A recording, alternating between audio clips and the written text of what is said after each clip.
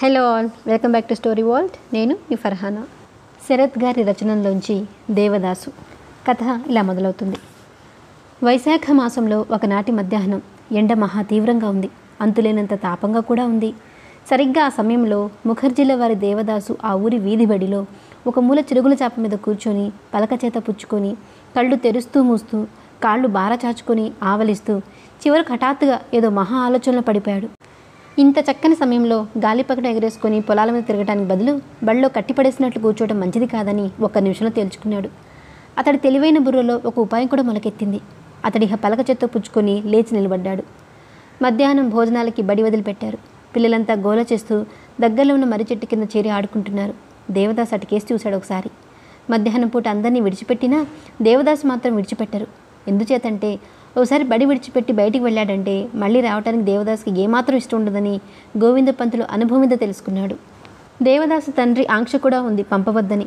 ఇలాంటి అనేక కారణాల వల్ల అతడు ఈ సమయంలో బడికి మేనేటర్ అయిన భోలా కస్టడీలో ఉండాలని నియమం ఏర్పాటైంది. బళ్ళో ఇప్పుడు పంతులు గారు ఒక్కరు మధ్యాహ్నం బడలిక వల్ల కళ్ళు మూసుకుని పడుకున్నారు. భోలా కూడా ఒక మూల చేతులు కాళ్ళు ముడుచుకొని ఒక విరిగిపోయిన బెంచి మీద చిన్న పంతులు టీవీతో కూర్చొని మధ్య మధ్య అతి నిర్లక్ష్యంగా ఒక్కోసారి పిల్లల ఆటలు చూస్తున్నాడు. ఒక్కోసారి పార్వతీ దేవదాసులు కేసి ఒక దృష్టి పారేసి పార్వతి పంతులు గారి ఆజ్ఞలోకి వచ్చి ఒక నెలలాళ్ళైంది ఈ కొద్ది రోజుల్లోనే పంతులు గారు బహుశా ఆ అమ్మాయి మనసును రంజింపచేసుంటారు. అందుచేతనే పార్వతి ఏకాగ్రమైన మనసుతోనూ అతి ధైర్యంతోనూ నిద్రవుతున్న పంతులు గారి ఆకారాన్ని బాలశిక్ష చివరి పేజీ మీద సిరాతో చిత్రిస్తూ మధ్య మధ్య మహా నేర్పుకున్న చిత్రకారిణిలాగా తాను అతిశ్రద్ధగా వేసిన ఈ చిత్రం తను అనుకున్నట్లు వచ్చిందా లేదా అని రకరకాలుగా పెట్టి చూస్తుంది ఆ చిత్రాన్ని. సరిగ్గా అనుకున్నంత చక్కగా చిత్రం రాలేదు కానీ పార్వతి ఎక్కడికి ఎంతో ఆనందాన్ని తృప్తిని పొందింది. ఈ సమయంలో దేవదాస్ పలక పుచ్చుకుని నించొని భోలాను ఉద్దేశించి లెక్క చేత కాలేదు అన్నాడు. భోలా శాంత గంభీర ముఖంతో ఏం లెక్క? అన్నాడు. మణుగుల లెక్క. పలక చూపించు.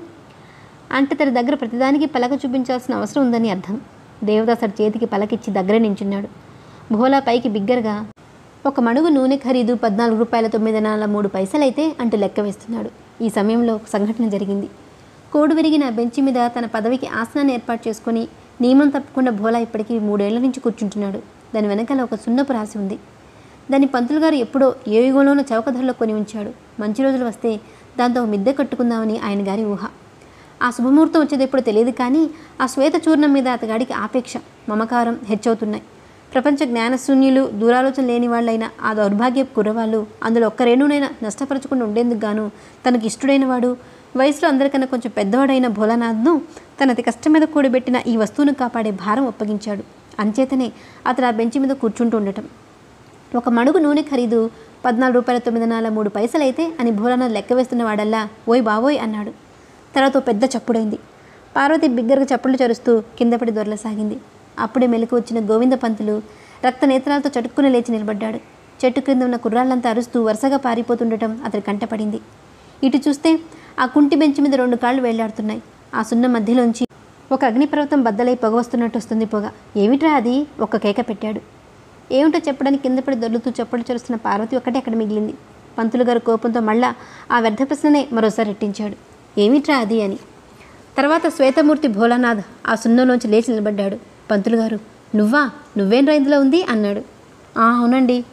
మళ్ళీ ఏమైంది? దేవాయ్ గాడిద పడేసి మణుగులు లెక్క అంటే? కానీ మరుక్షణంలో జరిగినంత తెలుసుకొని చాప మీద చతికిల పడి దేవాయ్ పడదోసి పారిపోయాడా? అని ప్రశ్నించాడు. అవునండి అని భోలా మరింత ఏడవసాగాడు. తర్వాత కాసేపు సున్నమంతా దులిపారు కానీ సున్నం శాంతం పాకపోవడం మూలంగా నల్లగా ఉన్న భోలా కొంతవరకు భూతంలా కనిపించాడు. కానీ అప్పటికీ ఏడుపు మానలేదు. దేవత పడదోసి పారిపోయాడు. నిజమే? ఆ వాడు శాస్ చేస్తాలే. మిగతా కుర్రవాళ్ళంతా ఎక్కడా? అని అడిగారు పంతులు గారు. తర్వాత కుర్రవాళ్ళంతా రొప్పుకుంటూ రోజుకుంటూ పరిగెత్తుకొచ్చి దేవాయి చిక్కలేదు అని చెప్పారు. రాళ్ళు కూడా రువ్వాడు. చిక్కలేదు? మరో కుర్రాడు మొదటి మాటనే మళ్ళీ అని వాడు ఊరుకో నువ్వు. వాడు ఆ మాట మింగి పక్క తప్పుకున్నాడు. వ్యర్థమైన కోపంతో పంతులు గారు ముందు పార్వతిని గద్దించారు. తర్వాత బోలన్న చేయి పుచ్చుకొని పద ఓసారి కచేరీకి పోయి జమీందార్ గారికి చెప్పి వద్దాం అన్నాడు. అంటే జమీందార్ నారాయణ ముఖర్జీ దగ్గరికి వెళ్ళి ఆయన కొడుకు ప్రవర్తన గురించి ఫిర్యాదు చేసి వద్దామని అర్థం అన్నమాట అప్పుడు సుమారు మూడు గంటలు అవుతుంది నారాయణ ముఖర్జీ మహాశయుడు బయట వరండాలో కూర్చొని హుక్కా తాగుతున్నాడు. ఒక నౌకరు విసనకర పుచ్చుకొని విసురుతున్నాడు. శిష్యులతో సహా వేళకాని వేళలో పంతులుగా రావటం చూసి ఆయన కొంచెం విస్మితుడై ఓ గోవిందా అన్నాడు. గోవింద కులాని కాయస్థుడు అతను శాస్త్రాంగ నమస్కరించి భోరాన్ని చూపించి సంగతి యావత్తు విపులంగా చెప్పాడు. ముఖర్జీ గారు కొంచెం విసుక్కొని అయితే దేవదాసు అదుపాకంలో ఉండనట్లు కనిపిస్తుంది అన్నాడు. ఏం చేయమంటారు? సెలవివ్వండి. జమీందార్ గారు హుక్కా గొట్టం పక్కన పెట్టి ఎక్కడికి వెళ్ళాడు? అన్నాడు. అదేం తెలుసు? పట్టుకోవడానికి వెళ్ళిన వాళ్ళను రాళ్ళు పుచ్చుకొని కొట్టాడట. ఇద్దరు కాసే మెదలకుండా ఊరుకున్నాడు వాడింటికి వచ్చాక ఏదో ఒకటి చేస్తానులే అన్నాడు నారాయణ ముఖర్జీ. గోవింద పంతులు కుర్రాళ్ళను వెంట పెట్టుకొని బళ్ళోకి తిరిగి వచ్చి కళ్ళతోనూ ముఖ కవళికలతోనూ బళ్ళో వాళ్ళందరినీ భయపెట్టి దేవదాసు తండ్రి ఈ ప్రాంతాల జమీందారైనా వాడిని బడిలోకి రానివ్వను అని ప్రతిజ్ఞ చేశాడు. ఆ రోజున పడి కొంచెం పెందరాలే విడిచిపెట్టేశాడు. వెళ్ళేటప్పుడు కుర్రాళ్ళు అనేక విధాలుగా చెప్పుకోసాగారు. దేవదెంత గడుగ్గాయిరా? అన్నాడు ఒకడు. భోలాకు భలే చేస్తి చేశాడ్రా? అన్నాడు మరొకడు. ఎవరు వేడరా రాళ్ళు? అన్నాడు ఇంకోడు. మరొకడు భోలా తరపున భోలా కసి తీర్చుకుంటాడు చూడు అన్నాడు. వాడికి ఇంక అసలు బళ్ళోకే రాడుగా? ఇక కసి తీర్చుకోవడం ఏమిటి? ఈ చిన్న పిల్లల గుంపుకు ఒకవైపు నుంచి పార్వతి కూడా పలకా పుస్తకాలు చేత పట్టుకొని వస్తుంది. పక్కనున్న కుర్రాడు చేయి పట్టుకొని మణి దేవదాసునికి నిజంగా బడిలోకి రానివ్వరా? అని అడిగింది. ఏమాత్రం రానివ్వరు అన్నాడు మణి.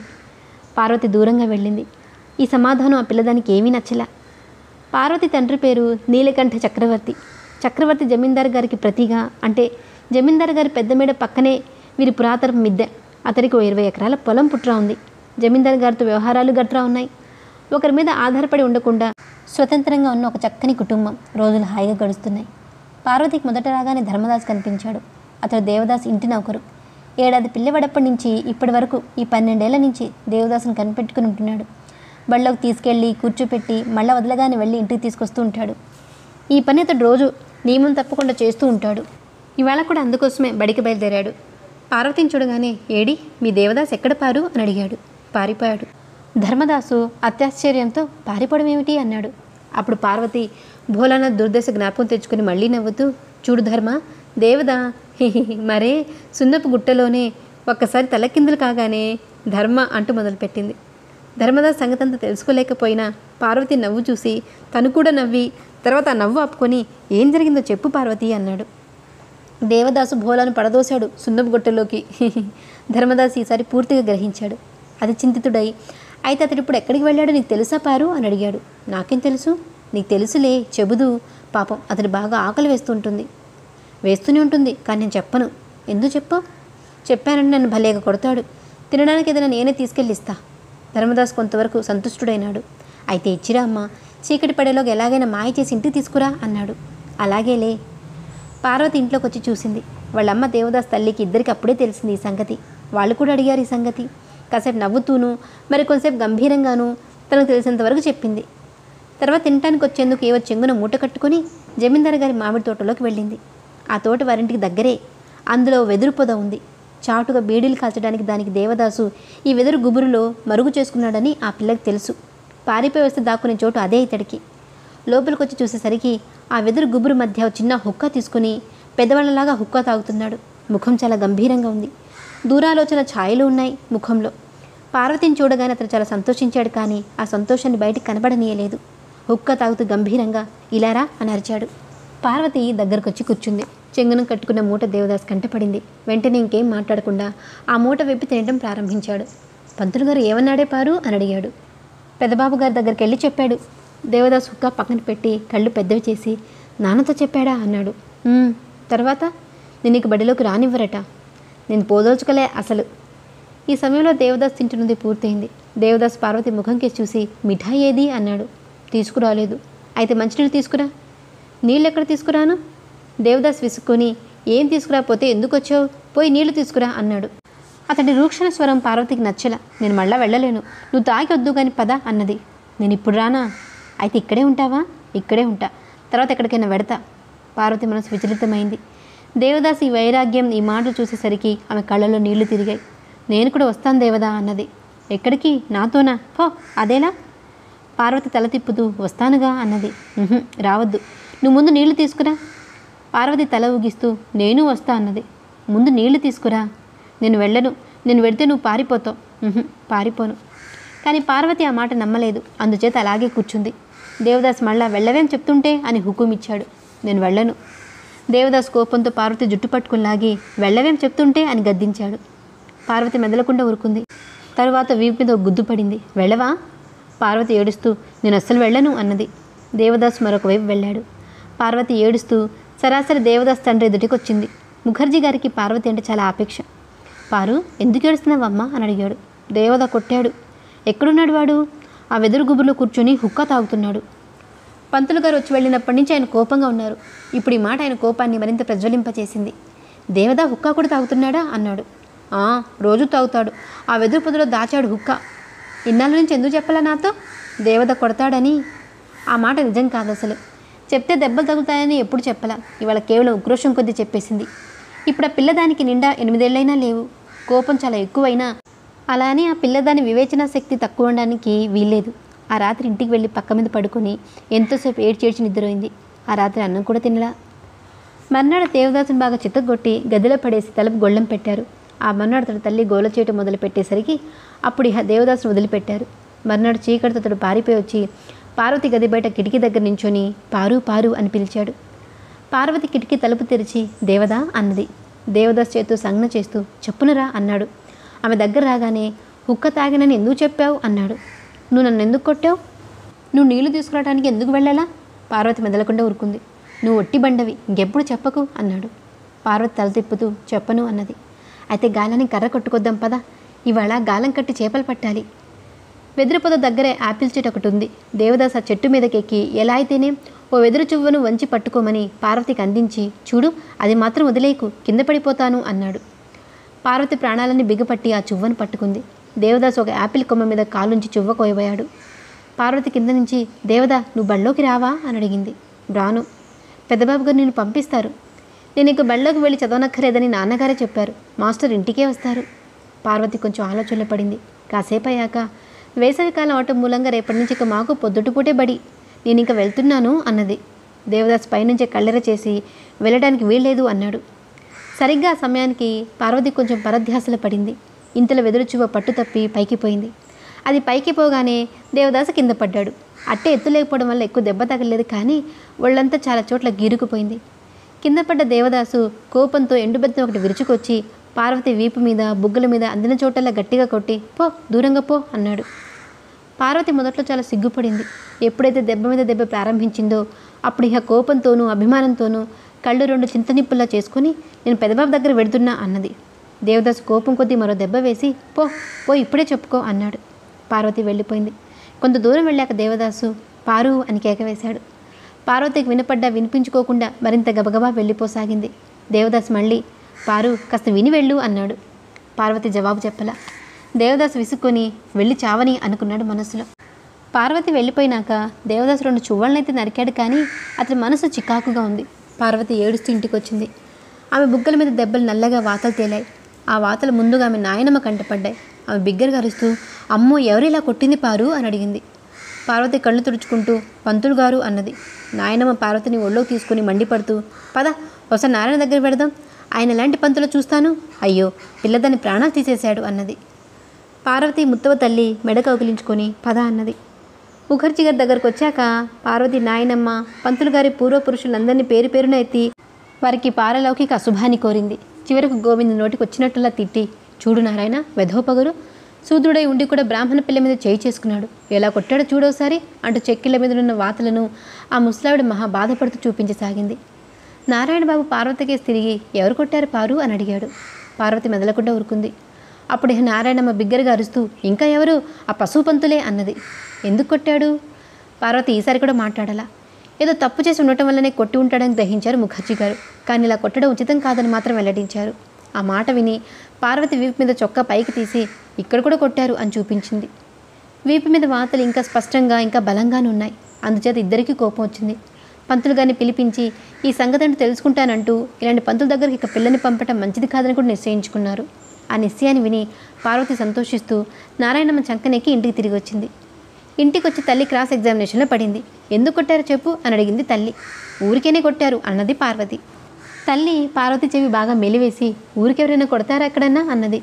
ఆ సమయంలో పార్వతి ఆయనమ్మ హాల్లోంచి పెడుతూ కిటికీ దగ్గరకు వచ్చి ఇదిగో తల్లివే వెండి కూడా నువ్వే ఊరికనే కొడుతుండగా లేంది ఇహ పాడుముండా కూడా కొట్టడు అన్నది. ఊరికే ఎప్పుడు కొట్టరు. ఇంత బుద్ధిమంతురాలు ఏం చేసిందో అందుకు దెబ్బలు తిని ఉంటుంది. అత్తగారు విసుక్కొని పోని అలాగే కానీ కానీ ఇహ దాన్ని నేను బళ్ళోకి పోనివ్వను అన్నది. కాస్త చదువుది నేర్చుకోవద్దా? ఎందుకమ్మంత చదువు? కాస్త ఉత్తర ముక్క రాయటం నాలుగు పంక్తులు రామాయణం భారత్ చదవటం వస్తే చాలదు? నీ కూతురు పారు ఏమైనా ప్లీడరీ చేస్తుందా? జడ్జి పని చేయబోతుందా? కోడలు ఇంకా గత్యంతరం లేక మెదలకుండా ఊరుకుంది. ఆ రోజున దేవదాస్ భయపడుతూ భయపడుతూనే ఇంటికి చేరాడు. పార్వతి ఈ పాటికి అన్నీ చెప్పి ఉంటుందంటంలో అతడికి ఏమాత్రం సంశయం లేకపోయింది. కానీ ఇంటికి వచ్చేసరికి ఆ లక్షణాలేవి అభాసుగానైనా కనిపించలా. పైగా గోవిందం పంతులు పార్వతిని కొట్టాడని అందుచేత రేపటి నుంచి పారు బళ్ళకు వెళ్ళదని తల్లి చెప్పగా విని ఆ ఆనందాతిరేకంతో అన్నం కూడా సరిగ్గా తినక రెండు మెతుకులు ఎలాగో అలా నోట ముక్కున కొట్టుకొని పార్వతి దగ్గర పరిగెత్తుకుంటూ వచ్చి రొప్పుకుంటూ నువ్వు ఇక బళ్ళోకి వెళ్ళవటగా? వెళ్ళను. ఏం జరిగిందేమిటి? పంతులు గారు కొట్టారని చెప్పాను నేను. దేవదాస్ నోటి నిండా నవ్వి ఆమె వీపు నిమిరి నీ అంత బుద్ధిమంతురాలు ఈ పృథ్వీలో లేదని సర్టిఫికేట్ ఇచ్చాడు. తర్వాత మెల్లిగా పార్వతి శరీరం మీద ఉన్న వాతలను జాగ్రత్తగా పరీక్షించి అయ్యో అని నిట్టూర్చాడు పార్వతి కొంచెం నవ్వి అతని ముఖం కేసి చూసి ఏమిటి అన్నది. బాగా తగిలే దెబ్బలు కదు పారు? పార్వతి తల పంకిస్తూ అన్నది. అలా ఎందుకు చేశావు నువ్వు? అంచేతే కోపం వచ్చింది కొట్టాను. పార్వతి కళ్ళలో నీళ్ళు గిర్రం తిరిగాయి. ఏం చేశాను అని అడుగుదామని మనసులో మహా అనుకుంది. కానీ అడగలేకపోయింది. దేవదాస్ ఆమె తల నిమురుతూ ఇంకెప్పుడు అలా చేయకు? ఏం? అన్నాడు. పార్వతి తల తిప్పుతూ చెయ్యను అన్నది. దేవదాస్ మరోసారి ఆమె వీపు మీద చరిచి అచ్చా ఇక నిన్నెప్పుడు కొట్టను అన్నాడు. క్రమంగా రోజులు గడిచిపోతున్నాయి.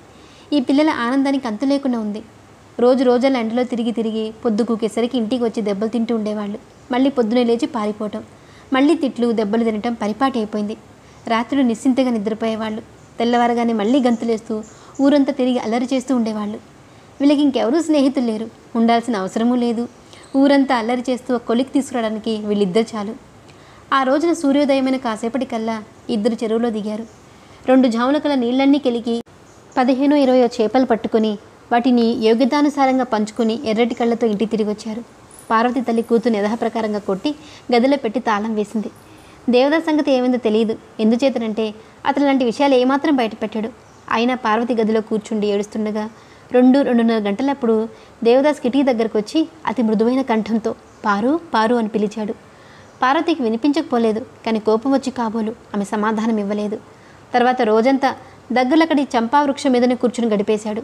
సాయంకాలం అయ్యాక ధర్మదాసు వచ్చి అతి ప్రయాస మీద అతను ఎలాగలా దింపి ఇంటి తీసుకుని వెళ్ళాడు. అది ఆ ఒక్కరోజునే పార్వతి మర్నాడు ఉదయం నుంచి దేవదాస్ కోసం ఎదురు చూస్తూ కూర్చుంది. కానీ దేవదాస్ రాలేదు. అతని తండ్రితో కూడా పక్క ఊళ్ళో విందుకు ఆహ్వానం వస్తే వెళ్ళాడు. దేవదాస్ ఇహ ఎప్పుడైతే రాకపోయాడో పార్వతికి అప్పుడు ఏమి తోచక ఇంట్లోంచి బయలుదేరింది. నిన్న ఉదయం చెరువులో దిగి ఇప్పుడు దేవదాస్ మూడు రూపాయలు తన దగ్గరుంటే జారిపోతాయని పార్వతి చేతికిచ్చాడు ఉంచమని. ఆ రూపాయలు ఆమె కొంగున ఇప్పటికీ అలాగే కట్టి ఉన్నాయి. చాలాసేపు ఆ కొంగు అటు ఇటు తిప్పుకుంటూ ఒంటరిగానే గడిపింది. సాహసగత్తలు ఎవరూ దొరకలేదు. ఎందుచేతంటే అది పొద్దుట పూట బడి పెడుతున్న రోజులు. అప్పుడు ఇహ పార్వతి మనోరమ వాళ్ళు ఉన్న ఇంటికి వెళ్ళింది. మనోరమ్మ బల్లో చదువుకుంటుంది. పార్వతికి సాహసకత వయసులో పార్వతి కన్నా కొంచెం పెద్దది. చాలా రోజుల నుంచి ఆమెను చూడటం పడలేదు. ఇవాళ ఎలాగైతేనేం తీరుబడి చేసుకుని ఆ వీధిలో ఉన్న మనోరమ ఇంటికి వెళ్ళి మను ఇంట్లో ఉన్నావా? అని పిలిచింది. మనోరమ మేనత్త బయటకు వచ్చింది పారు ఆ మను ఎక్కడికి వెళ్ళింది అత్త అది బళ్ళోకి వెళ్ళింది. నువ్వు వెళ్ళలా? నేను బళ్ళోకి వెళ్ళటంలా. దేవదాస్ కూడా వెళ్ళటంలా. మనోరమ మేనత్త నవ్వుతూ అయితే బాగానే ఉంది. నువ్వు వెళ్ళటం లేదు. దేవత కూడా వెళ్ళటం లేదా? అన్నది. మేమెవ్వరం వెళ్ళటం లేదు. అయితే మంచి మాటే కానీ మను బళ్ళోకి వెళ్ళింది మనోరమ మేనత్త మాట్లాడుతూ కూర్చుంది. కానీ పార్వతి వెనక్కి తిరిగి వచ్చింది. దారిలో రసికపాల దుకాణం దగ్గర ముగ్గురు సాతాని స్త్రీలు కంజరి వాయిస్తూ బిచ్చుమడుక్కుంటున్నారు పార్వతి వాళ్ళని పిలిచి మీకు పాటలు పాడడం వచ్చా? అని అడిగింది. వాళ్ళలో ఒకటి వెనక్కి తిరిగి రాకపోవడం ఏంటి తల్లి? అన్నది. అయితే పాడండి అన్నది. అప్పుడు ముగ్గురు వెనక్కి తిరిగి నిలబడ్డారు. ఇలా ఎలా పాడతామమ్మా బిచ్చం కావాలి. పదా మీ ఇంటికి పోదాం. అక్కడ పాడదాం అన్నది ఇక్కడే పాడండి. పైసా ఇస్తావమ్మా? పార్వతి కొంగు చూపిస్తూ పైసా లేదు రూపాయి ఉంది అన్నది. కొంగునున్న రూపాయలు చూసి వాడు దుకాణం వదిలి కొంచెం దూరంగా వచ్చి కూర్చున్నారు. కంజర వాయిస్తూ ముగ్గురు గొంతులు కలిపి పాడారు. ఆ పాట ఏమిటో దాని అర్థం ఏమిటో పార్వతికి ఏమీ తెలియదు. ప్రయత్నించినా తెలుసుకునేది కాదేమో. కానీ మనస్సు మాత్రం ఆ క్షణంలోనే దేవదాస్ దగ్గర పరిగెత్తింది. పాట పూర్తయ్యాక ఏం భిక్ష ఇస్తావో ఈ తల్లి అని అడిగారు. పార్వతి చెంగున ఉన్న మూట విప్పి మూడు రూపాయలు వాళ్ళ చేతిలో ఉంచింది. ముగ్గురు తెల్లబోయి ఆ ముఖం కేసి చూస్తూ ఉండిపోయారు. ఇవి ఎవరి రూపాయలు తల్లి? అని అడిగింది ఒకతే. దేవదావి అతను నేను కొట్టడు? పార్వతి ఒక్క నిమిషం ఆలోచించి కొట్టడు అన్నది. నూరేళ్ళు వర్ధిల్లి తల్లి అని దీవించింది ఒకతే. పార్వతి నవ్వుతూ మీ ముగ్గురికి భాగాలు సరిగ్గా కుదిరాయి కదూ? అన్నది. ముగ్గురు తలలోగిస్తూ సరిగానే కుదిరాయి. రాధాదేవి నిన్ను రక్షిస్తుంది అని ఆశీర్వదించి వెళ్ళిపోయారు. పార్వతి ఆ రోజున పెందరాల ఇంటి తిరిగి వచ్చింది. మర్నాడు పొద్దునే దేవదాస్ వచ్చి కనిపించాడు. అతని చేతిలో ఒక దారపు కండె ఉంది. గాలిబట్ట మాత్రం లేదు. అది ఇప్పుడు కొనాలి.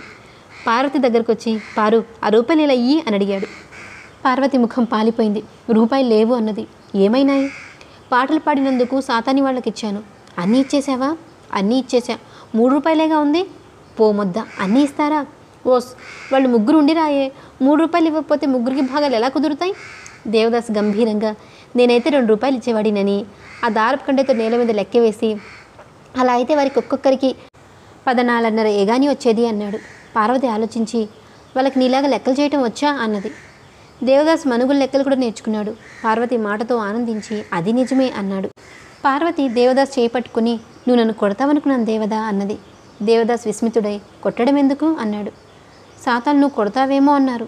ఆ మాట విన్న దేవదాసు మహా ఆనందంతో పార్వతి భుజాలు నొక్కుతూ తప్పు చేయకపోతే ఎందుకు కొడతాను? అన్నాడు.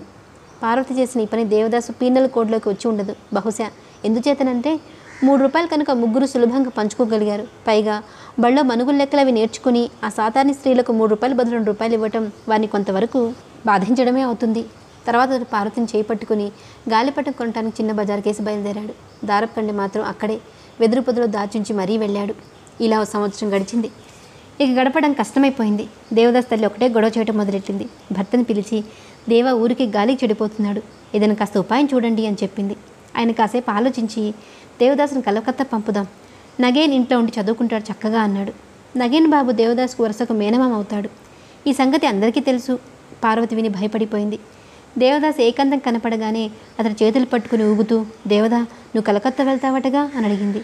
ఎవరు చెప్పారు? పెదబాబుగా చెప్పారు. పో నేను ఎక్కడికి వెళ్ళను.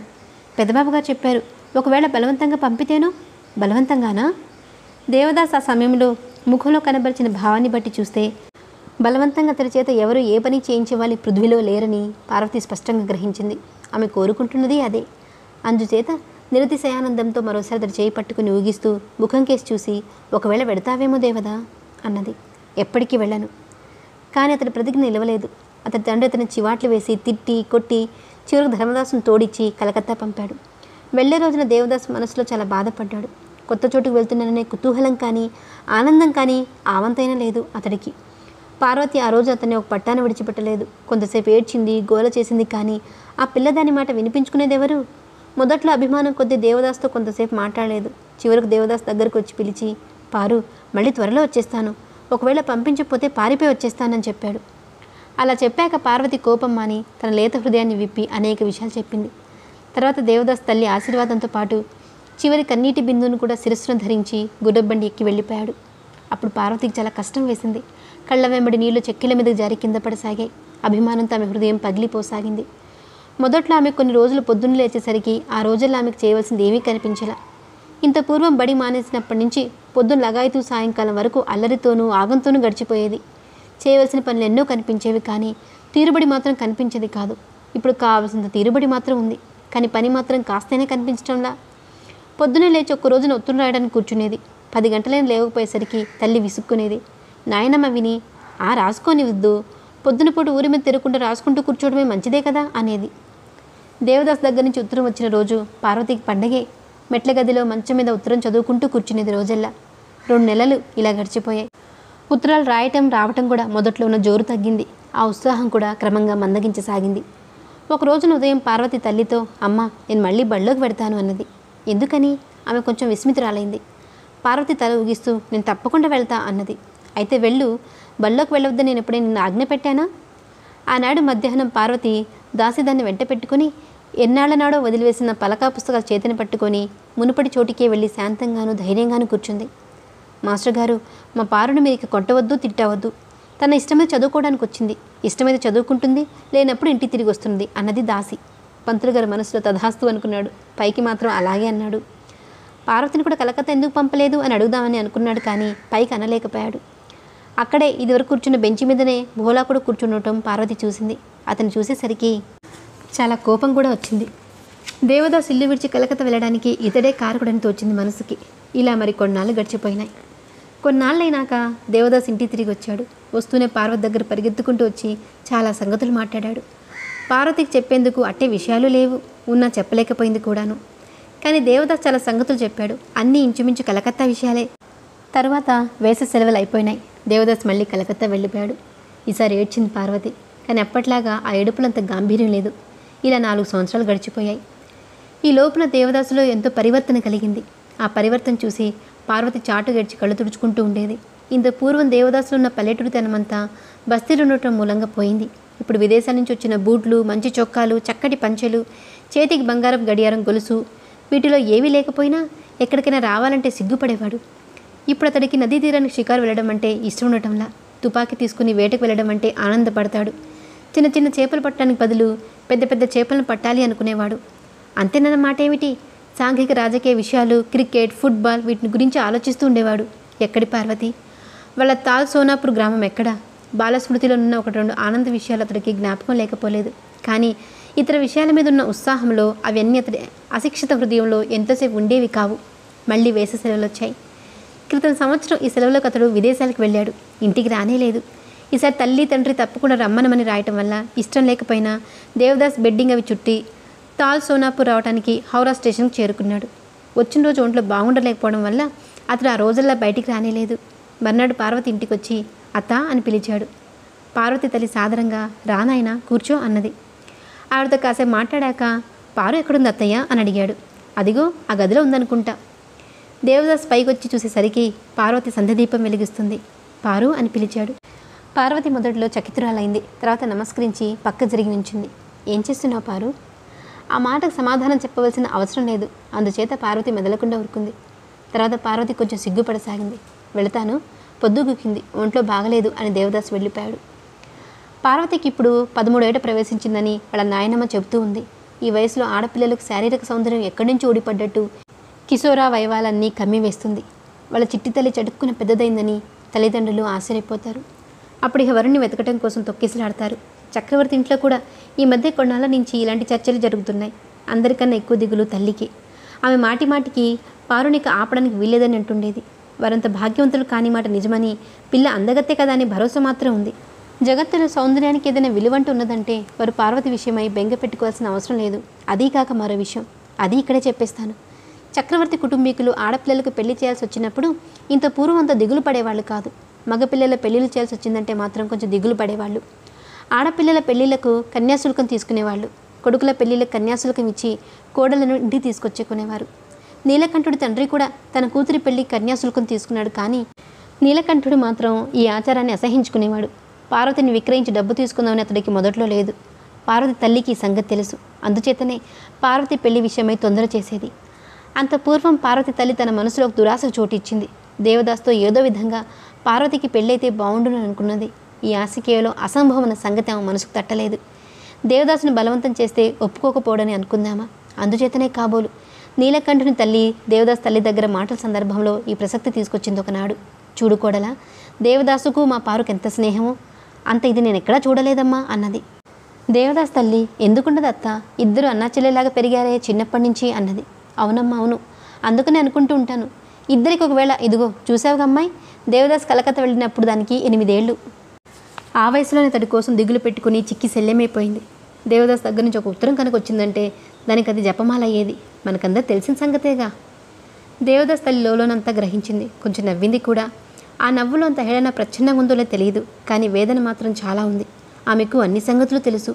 పార్వతి అంటే ఆపేక్ష కూడాను. కానీ పిల్లల్ని అమ్ముకునే వంశంలో పుట్టిన పిల్ల పైగా అది కాగా పొరిగింటి పిల్ల.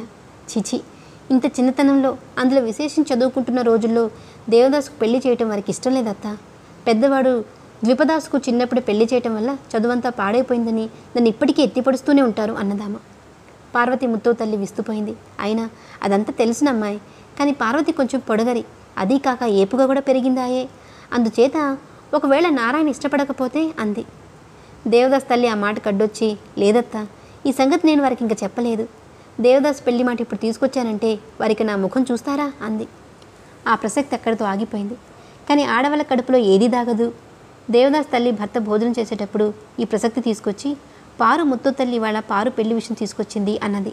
అని తల పైకెత్తి ఆ నిజమే. పారుకు పెళ్ళిడొచ్చింది నిజమే. వెంటనే పెళ్ళి చేసేయాలి అన్నాడు. అందుకనే ఇవాళ ప్రసంగం తెచ్చింది దేవదాసుకు. భర్త కనుబొమ్మలు చిట్లించి నువ్వేమన్నావు? అన్నాడు. నేను ఇంకేమంటాను ఇద్దరికి చాలా స్నేహం. కానీ అలా అని పిల్లని అమ్ముకునే చక్రవర్తుల ఇంటి పిల్లను కొడగా తెచ్చుకుంటానా? అందులో పైగా పొరిగింటి పిల్ల చీచి. ఆయన సంతృప్తి పడ్డాడు. అంతే.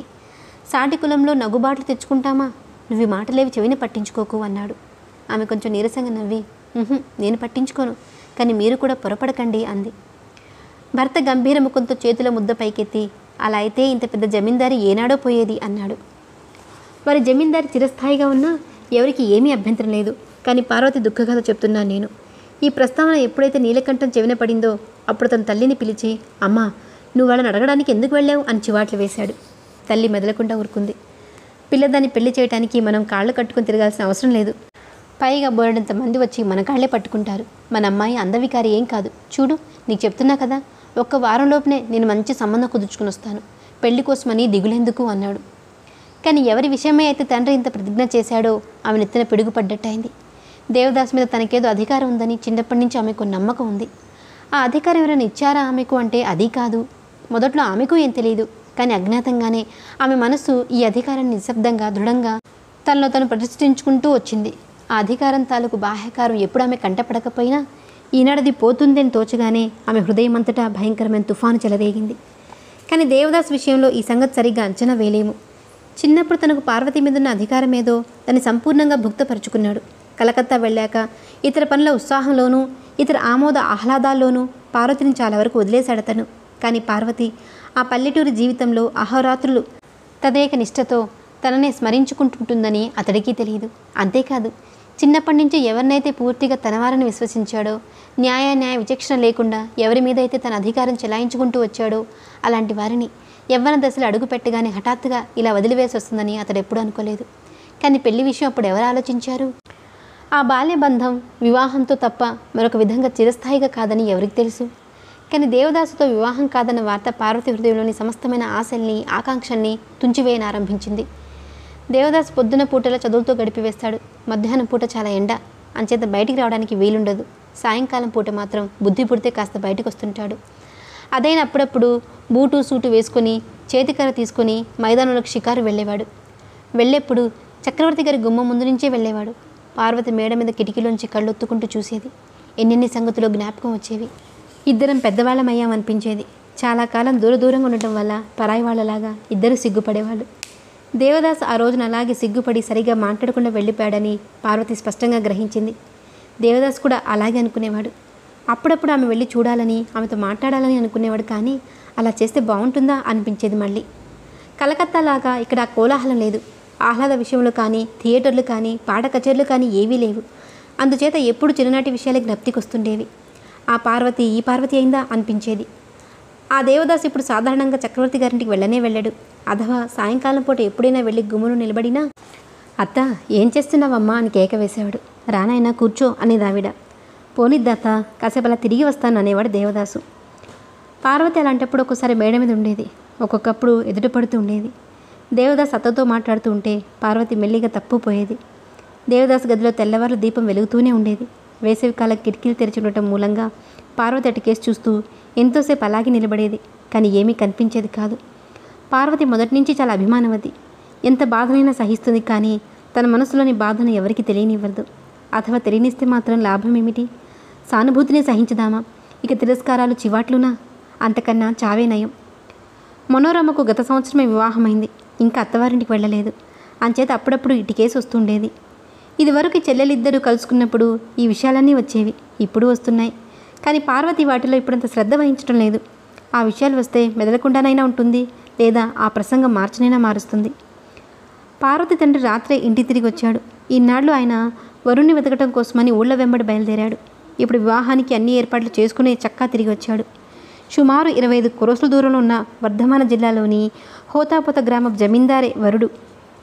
ఆయన స్థితిగతులు బాగున్నాయి వయసు కూడా నలభైకి లోపే నిరుడే భార్య చనిపోయింది. అంచేత మళ్ళీ వివాహం చేసుకుంటున్నాడు. ఈ వార్త ఇంట్లో ఉన్న యావన్ మందికి సంతోషం కలిగించిందా అంటే లేదు. పైగా దుఃఖ కారణమైంది. అయినా ఒక్క సంగతి. భువన చౌదరి దగ్గర నుంచి రెండు మూడు వేల రూపాయలు ఇంటికి వస్తాయని తెలియగానే ఇంట్లో ఆడవాళ్ళంతా ఇక నోరెత్తలేదు. ఒకనాడు మధ్యాహ్నం దేవదాసు భోజనం ముందు కూర్చున్నాడు. తల్లి దగ్గర కూర్చొని పారుకి పెళ్ళి అంది. దేవదాస్ తల పైకెత్తి ఎప్పుడు? అని అడిగాడు. ఈ నెలలోనే. నిన్న వచ్చి పిల్లని చూసుకుని వెళ్ళారు. వరుడే వచ్చాడు స్వయంగా. దేవదాస్ కొంచెం విస్మితుడై ఏది? నాకు తెలియనేలేదే అమ్మా అన్నాడు. నీకెలా తెలుస్తుంది? వరుడు కొంచెం బొద్దుగా ఉంటాడు. వయసు కూడా చెల్లింది. అయితే ఏం? చాలా డబ్బు దశకం ఉన్నదట. పారు సుఖంగా బతుకుతుంది. దేవదాస్ తల ఉంచుకొని భోజనం చేస్తున్నాడు. అతడి తల్లి మళ్ళీ చెప్పడం మొదలుపెట్టింది. దాన్ని మన ఇంట్లో ఇచ్చి పెళ్ళి చేయాలని ఉంది వాళ్ళకి అన్నది. దేవదాస్ ముఖం పైకెత్తి తర్వాత? అన్నాడు. తల్లి నవ్వి ఛీ! అదెలా కుదురుతుంది? అసలు పిల్లలు అమ్ముకునే వంశం ఆ పైన పొరుగింటి పిల్ల. చీచి అని తల్లి పెదవి కుచించుకుంది. దేవదాసు చూశాడు. కాసేపు బెదలకుండా ఊరుకొని తల్లి మళ్ళీ మీ నాన్నగారితో చెప్పాను అన్నది. దేవదాస్ తలపైకెత్తి నాన్నగారు ఏమన్నారు అని అడిగాడు. ఇంకేమంటారు? ఇంత గొప్ప వంశానికి నగుబాటు తీసుకురామని ఆ సంగతే చెప్పారు నాతో. దేవదాస్ ఇంకేం మాట్లాడలా. ఆ రోజునే మధ్యాహ్నం అప్పుడు మనోరమకి పార్వతికి సంభాషణ జరిగింది. పార్వతి అప్పుడే కన్నీరు తుడుచుకుని వచ్చిందని మనోరమ గ్రహించింది.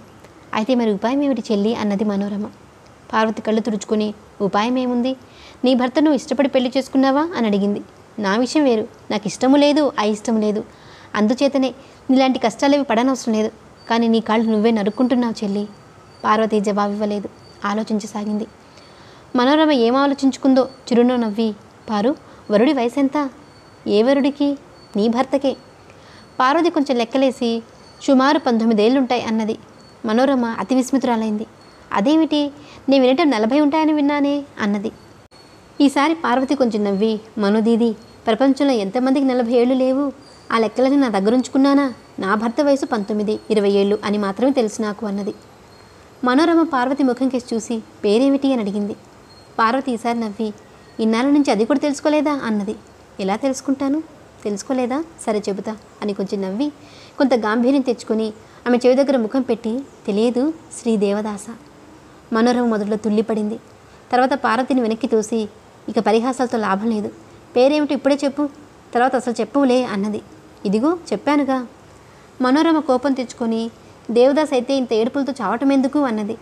పార్వతి ముఖం చటుక్కుని నల్లబడింది. ఏదో ఆలోచించుకొని అది నిజమే ఇక ఏడవను అన్నది. పారు ఏమిటి? అన్ని సంగతులు విప్పి చెప్పు చెల్లి నాకేం అర్థం కావటంలా. చెప్పవలసింది ఏమిటో అంతా చెప్పేశాను. కానీ నాకేం అర్థం కాలేదే. కాదులే అని పార్వతి ముఖం మరోవైపు తిప్పుకుంది. పార్వతి ఎంత దాస్తున్నదని మనోరమ భావించింది. చాలా అభిమానము వేసింది. దుఃఖము కలిగింది. పారు నీ దుఃఖం నాది మాత్రం కాదా? చెల్లి నువ్వు సుఖంగా ఉండాలనే నా మనసులోని ప్రార్థన. నీకేమైనా దాచవలసిన సంగతులుంటే నాకు చెప్పడానికి ఇష్టం లేకపోతే మానే కానీ నన్ను ఇలా వేళాకొళలు మాత్రం పట్టించుకున్నది పార్వతి కూడా దుఃఖితురాలైంది. వేళాకొళం కాదక్క. నాకు తెలిసినంతవరకు చెప్పేశాను నీకు. నాకు తెలిసిందల్లా నా భర్త పేరు దేవదాసు. వయసు సుమారు పంతొమ్మిది ఇరవై ఏళ్ళు. ఆ సంగతేగా నీతో చెప్పాను అన్నది. కానీ నీకెక్కడో సంబంధం నిశ్చయమైందని విన్నానే. నిశ్చయం కాకపోవటమేం? నాయనమనిచ్చి చెయ్యరుగా. పెళ్ళైతే నాతోనే జరుగుతుంది కానీ నాకు ఆ సంగతులేవి తెలియదు అయితే దేవదాస్ నిన్ను? ఏమిటి నన్ను? మనోరం నవ్వాపుకొని అయితే స్వయంవరం అన్నమాట చాటు చాటున అన్ని ఏర్పాట్లు చేసుకున్నావా? అని అడిగింది. అవన్నీ ఇంకేం జరగలేదు. మనోరమ విద్యుత స్వరంతో నువ్వేం చెప్తున్నావేమో తెలుసుకోలేకపోతున్నాను పారు అన్నది. అయితే దేవదాసుని అడిగి నీకంత తెలిసేటట్లు చెప్తాను. ఏమని అడుగుతావు? అతడు పెళ్ళి చేసుకుంటాడా లేదా అనా? అంతేనా? పార్వతి తల ఊగిస్తూ "ఆ, అదే అన్నది. మనోరమ అంతులేని ఆశ్చర్యంతో ఏమన్నావు పారు? నువ్వు స్వయంగా అడుగుతావు ఆ మాట? అన్నది. తప్పేముంది అక్క? అన్నది. మనోరమ నిశ్చేష్టురాలైంది. ఏమన్నావు? నువ్వే స్వయంగానా? అన్నది. స్వయంగానే లేకపోతే నా కోసం ఇంకెవరు వెళ్ళి అడుగుతారక్క? సిగ్గువేదు. సిగ్గెందుకు? నీతో చెప్పడానికి ఏం సిగ్గుపడ్డాను? నేను ఆడదాన్ని. నీ సాహస కత్తిని. కానీ అతడు మగవాడు కాదా పారు? ఈసారి పార్వతి నవ్వింది. నువ్వు స్నేహితురాలివి ఆత్మీయురాలివి. కానీ ఇంకా అతడైనా పరాయివాడు. నీతో ఏ సంగతి అయితే చెప్పానో అది అతడితో చెప్పలేనా? అన్నది. మనోరమ తెల్లబోయి పార్వతి ముఖం కేసి చూస్తూ ఊరుకుంది. పార్వతి నవ్వు ముఖంతో మళ్ళా మనోదీది నువ్వు అనవసరంగా పాపట్టులో కుంకుమ ధరిస్తున్నావు. ఎవరిని భర్త నాలో కూడా తెలియదు నీకు. అతడు నా భర్త కాకపోతే నా లజ్జ సంకోచాలకు అతడు కాకపోతే నేను ఇలా అతడి కోసం చావటానికి కూర్చోను. అది కాదక్క. చావదలుచుకున్న వ్యక్తి విషయం చేదుగా ఉంటుందా తీయగా ఉంటుందని ఆలోచిస్తూ కూర్చుంటాడా? అతడి దగ్గర నాకేం సిగ్గులేదు అన్నది. మనోరమ పారుముఖం కేసు చూస్తూ కూర్చుంది. కాసేపు అయ్యాక అతన్ని ఏమని అడుగుతావు?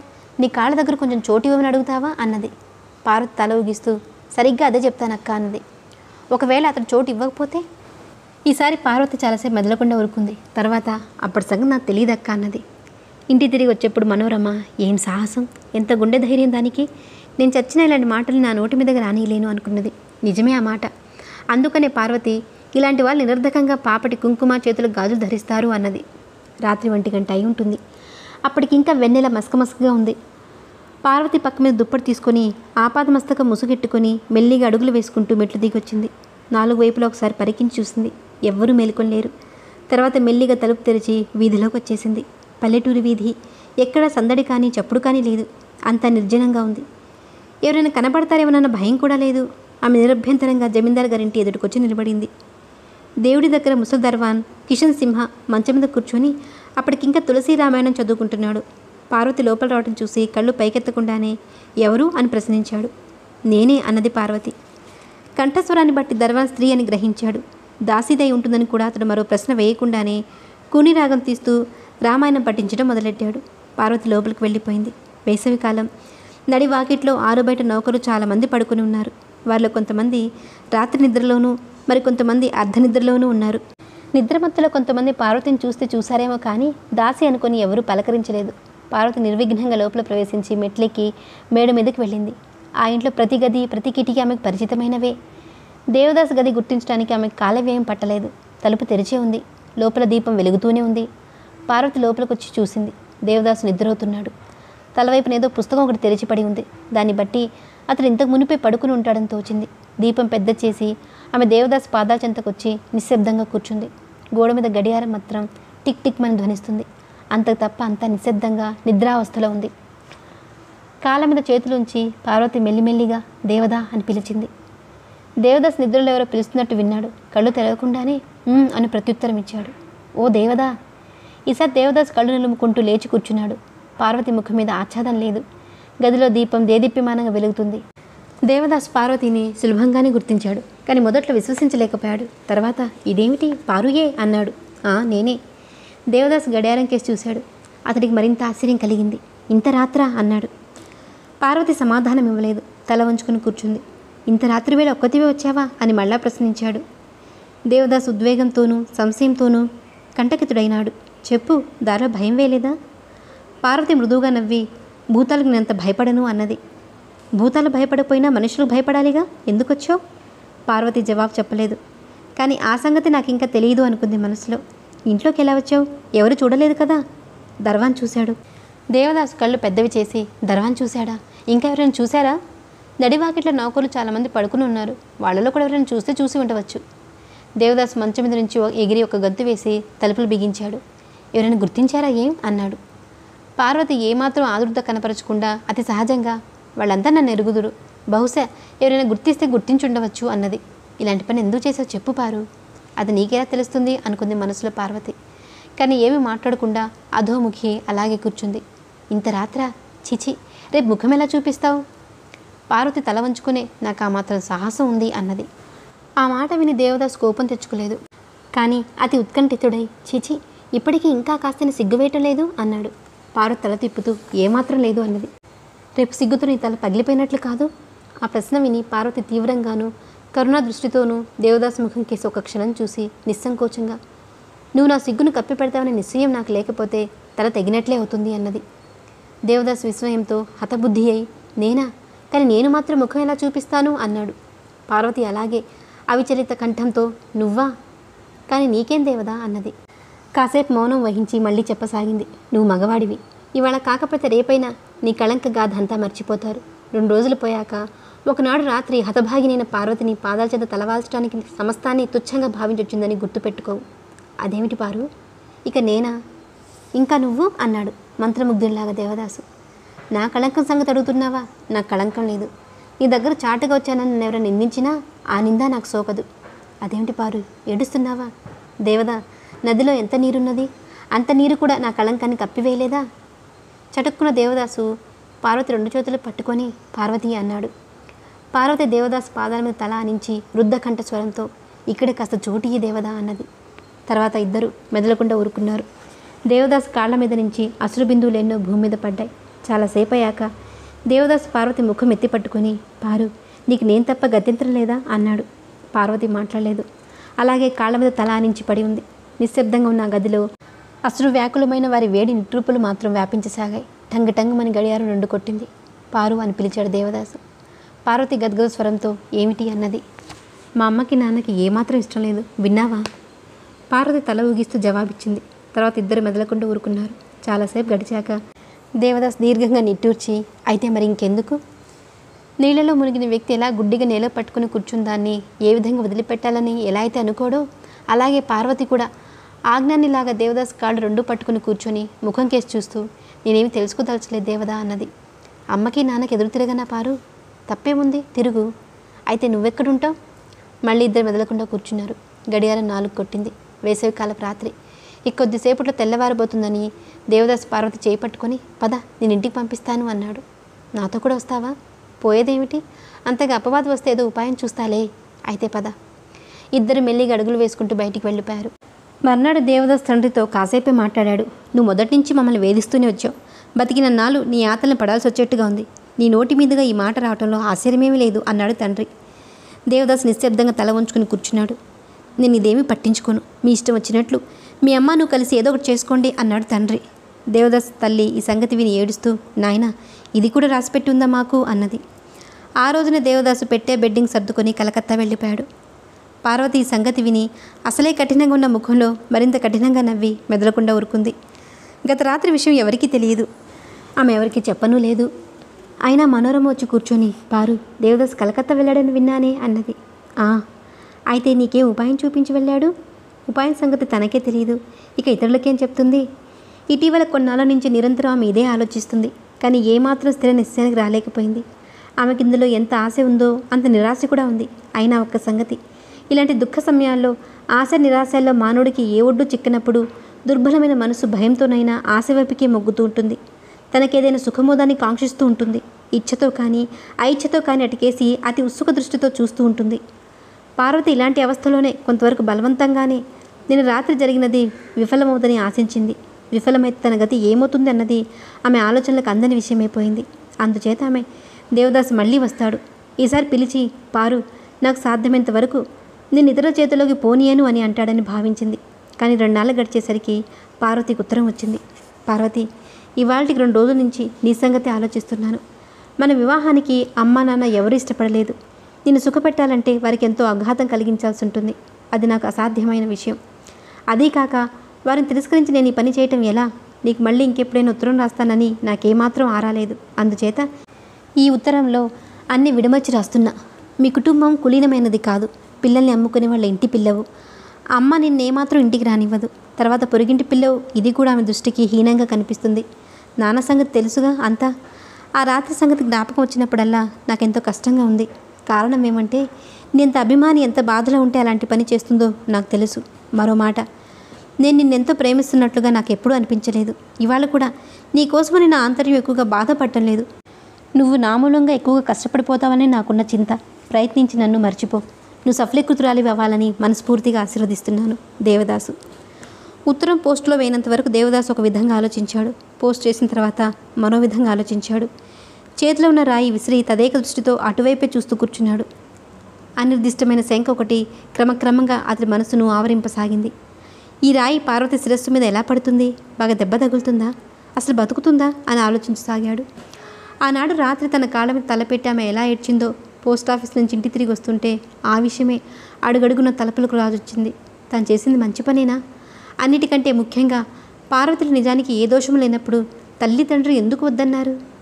అనేదే ఆలోచించడం ఆరంభించాడు. క్రమంగా వయసు అభివృద్ధి అవడంతో పాటు కలకత్తా నివాసం వల్ల కలిగిన అనుభవాన్ని కూడా జోడించి లోకాచారం కుల మర్యాద అనే సంకుచిత దృష్టి మీద ఆధారపడి నిరర్ధకంగా ఒక ప్రాణిని నాశనం చేయకూడదు అని అనుకున్నాడు.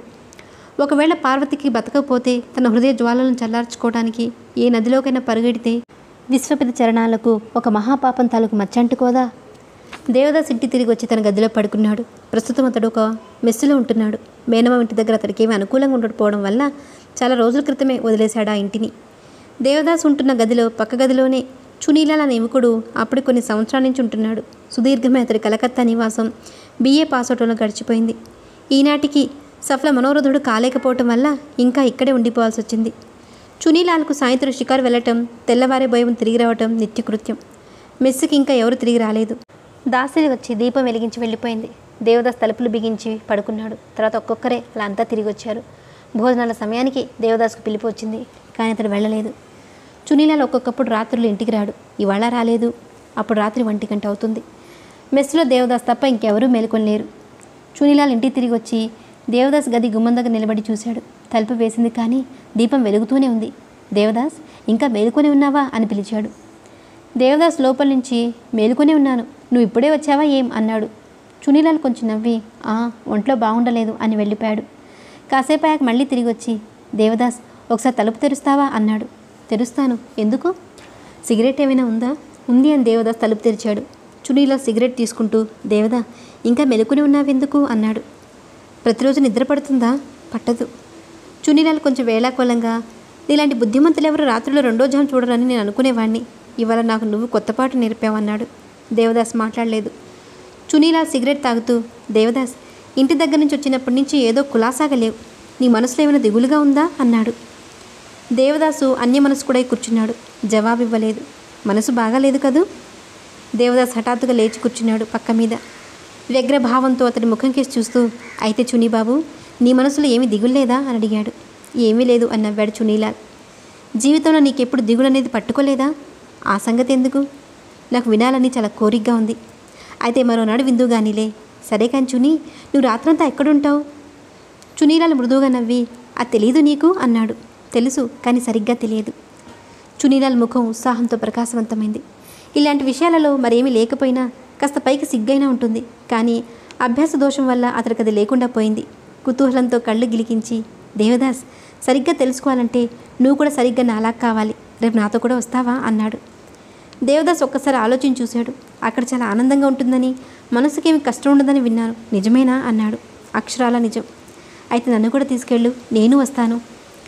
మర్నాడు ఇంకా సాయంత్రం కాక మునిపే చునీలాల్ దేవదాస్ గదిలోకి వచ్చి చూసేసరికి అతడు సామాన్లని సర్దుకుంటున్నాడు ఆదుర్దాగా.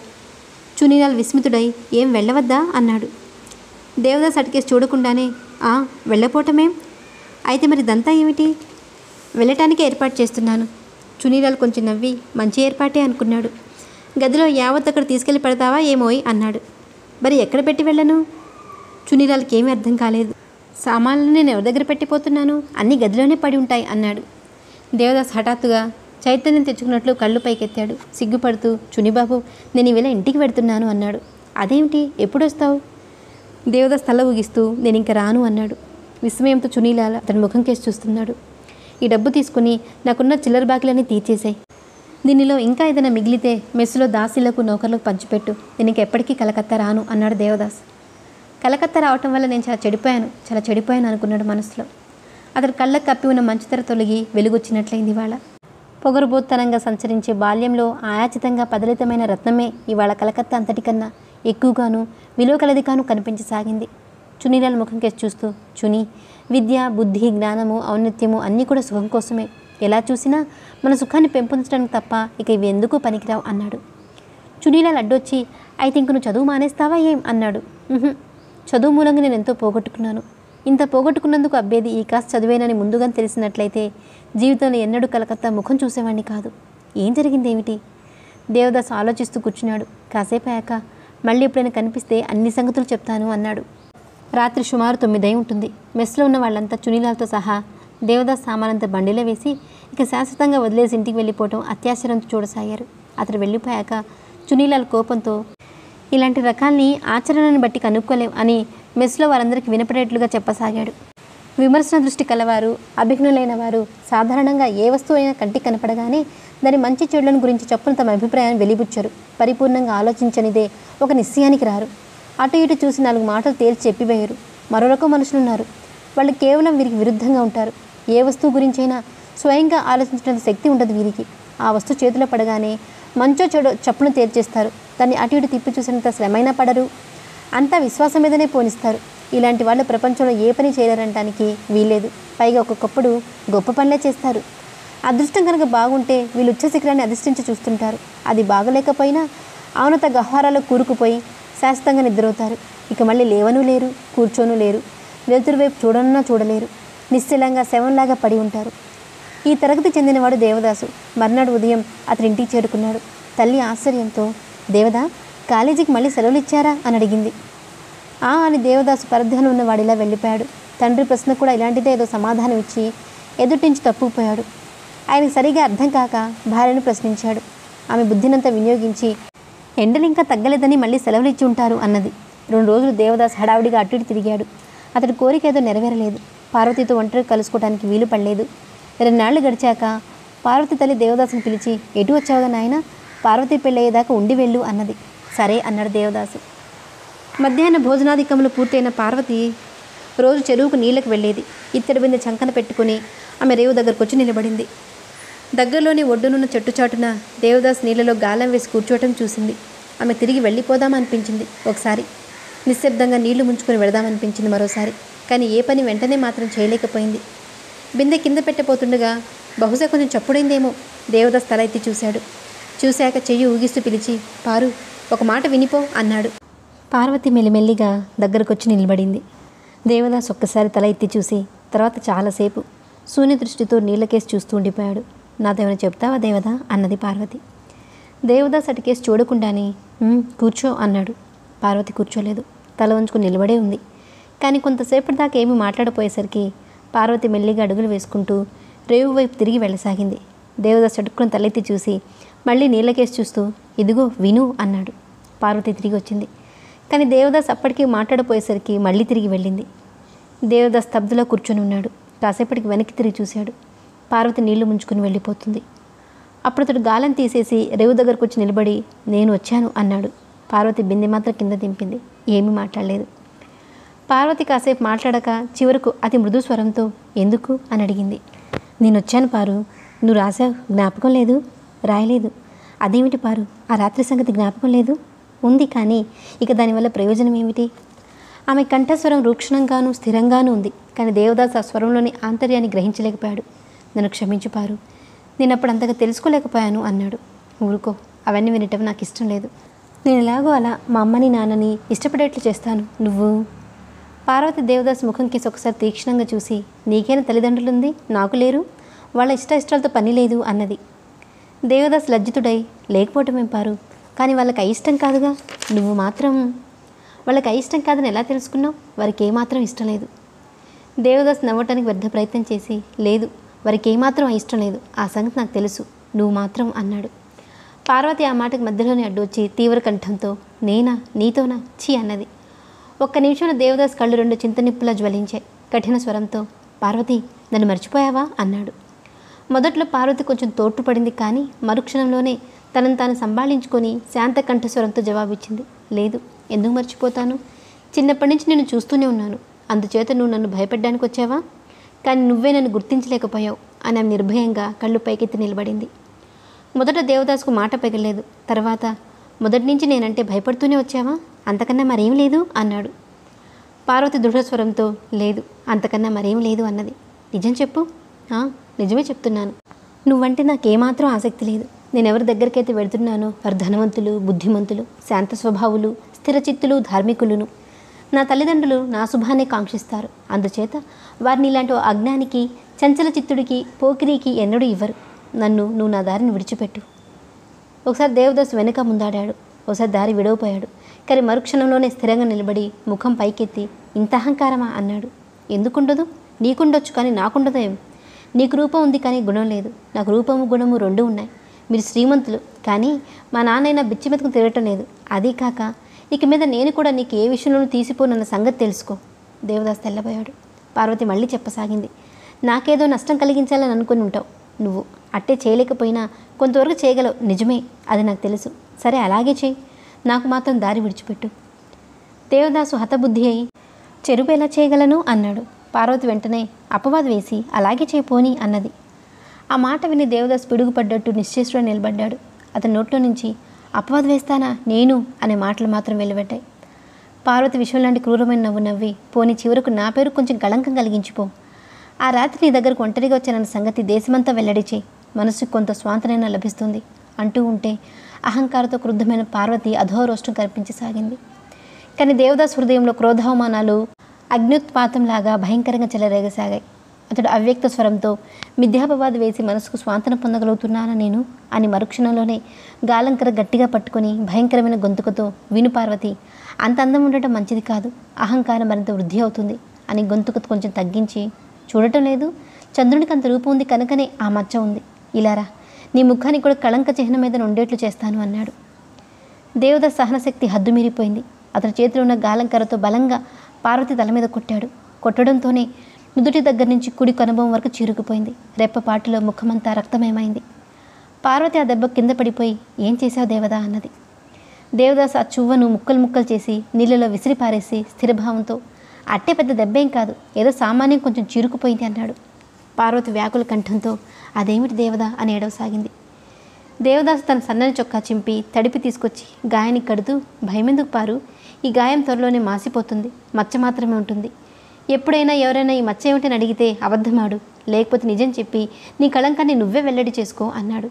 అమ్మో ఛీ అలా ఏడవకు పారు ఆఖరిసారి సెలవు తీసుకునే రోజున కాస్త జ్ఞాపక చిహ్నం ఉంచి పెడుతున్నాను. ఈ బంగారం లాంటి ముఖాన్ని అద్దంలో చూసుకుంటుంటావు అప్పుడప్పుడు అని జవాబు కోసం ఎదురు చూడకుండానే వెళ్ళబోయాడు. పార్వతి వ్యాకుల కంఠంతో దేవదాని ఏడవసాగింది దేవదాస్ వెనక్కి తిరిగి వచ్చాడు. కనుకొలకులో రెండు కన్నీటి బిందువులు ఉన్నాయి ఎంతో స్నేహవిచిత్రమైన కంఠంతో ఎందుకే పారు అన్నాడు. ఎవరికి చెప్పకు సుమి. దేవదాస్ ముందుకు వంగి పార్వతి శిరస్సు మీద ముద్దుడుకొని ఛీ నువ్వు నాకు పరాయదానివా పారు? నీ జ్ఞాపకం లేదు. అల్లరి చేస్తే చిన్నప్పుడు నీ చెవులు ఎన్నిసార్లు మెలిపెట్టాను అన్నాడు. దేవదా నన్ను క్షమించు. అది నువ్వు చెప్పక్కర్లేదు. నిజంగా నన్ను మర్చిపోయావా? ఎప్పుడు నీ మీద కోపం తెచ్చి కూర్చున్నాను? నేను ఎప్పుడు క్షమించలే చెప్పు. దేవదా పార్వతి నాకు ఎక్కువ మాట్లాడడం చేత కాదని ఎక్కువగా ఆలోచించి ఏ పని చేయనని నీకు తెలుసు. ఎప్పుడేది తోస్తే అని దేవదాస్ పార్వతి శిరస్సు మీద వీపు నిమిరి ఆశీర్వదించి నువ్వు మంచి పనే చేసావు నా దగ్గర నువ్వు సుఖపడేదానివి కాదు. కానీ నీ దేవదాస్కు మాత్రం అక్షయమైన స్వర్గసౌఖ్యం లభించేది అన్నాడు. ఆ సమయంలో చెరువు ఆవలిగట్టుకి ఎవరో వచ్చారు. పార్వతి మెల్లిగా నెలలో దిగింది. దేవదాస్ వెళ్ళిపోయాడు. పార్వతి ఇంటి తిరిగి వచ్చేసరికి పొద్దు చాలా వాలిపోయింది. నాయనమ్మ చూడకుండానే పారు చెరువు నుంచి నీళ్ళు తీసుకొచ్చావమ్మా అన్నది. కానీ ఆమె నోట్ల మాట పెదముల లోపలే ఆగిపోయింది. పార్వతి ముఖం కేసి చూడగానే అమ్మో అంత పెద్ద దెబ్బ ఎలా తగిలింది? అని అరిచింది. గాయం నుంచి ఇంకా రక్తం స్రవిస్తూ ఉంది. కట్టుకున్న పట్ట ఇంచుమించు అంతా రక్తంతో తడిసి ముద్దైంది. ఏడుస్తూ అమ్మో రేపు నీ పెళ్ళెలా పారు? అన్నది నాయనమ్మ. పార్వతి స్థైర్యంగా బిందె కిందికి దించింది. తల్లి వచ్చి ఏడుస్తూ ఇంత దెబ్బ ఎలా తగిలిందే పారు? అని అడిగింది. పారు సహజ భావంతో రేవులో కాలు జరిపడ్డా కొండరాతికి తల కొట్టుకుని చీరుకుపోయింది అన్నది. తర్వాత అందరూ కలిసి శుశ్రూష చేయసాగారు.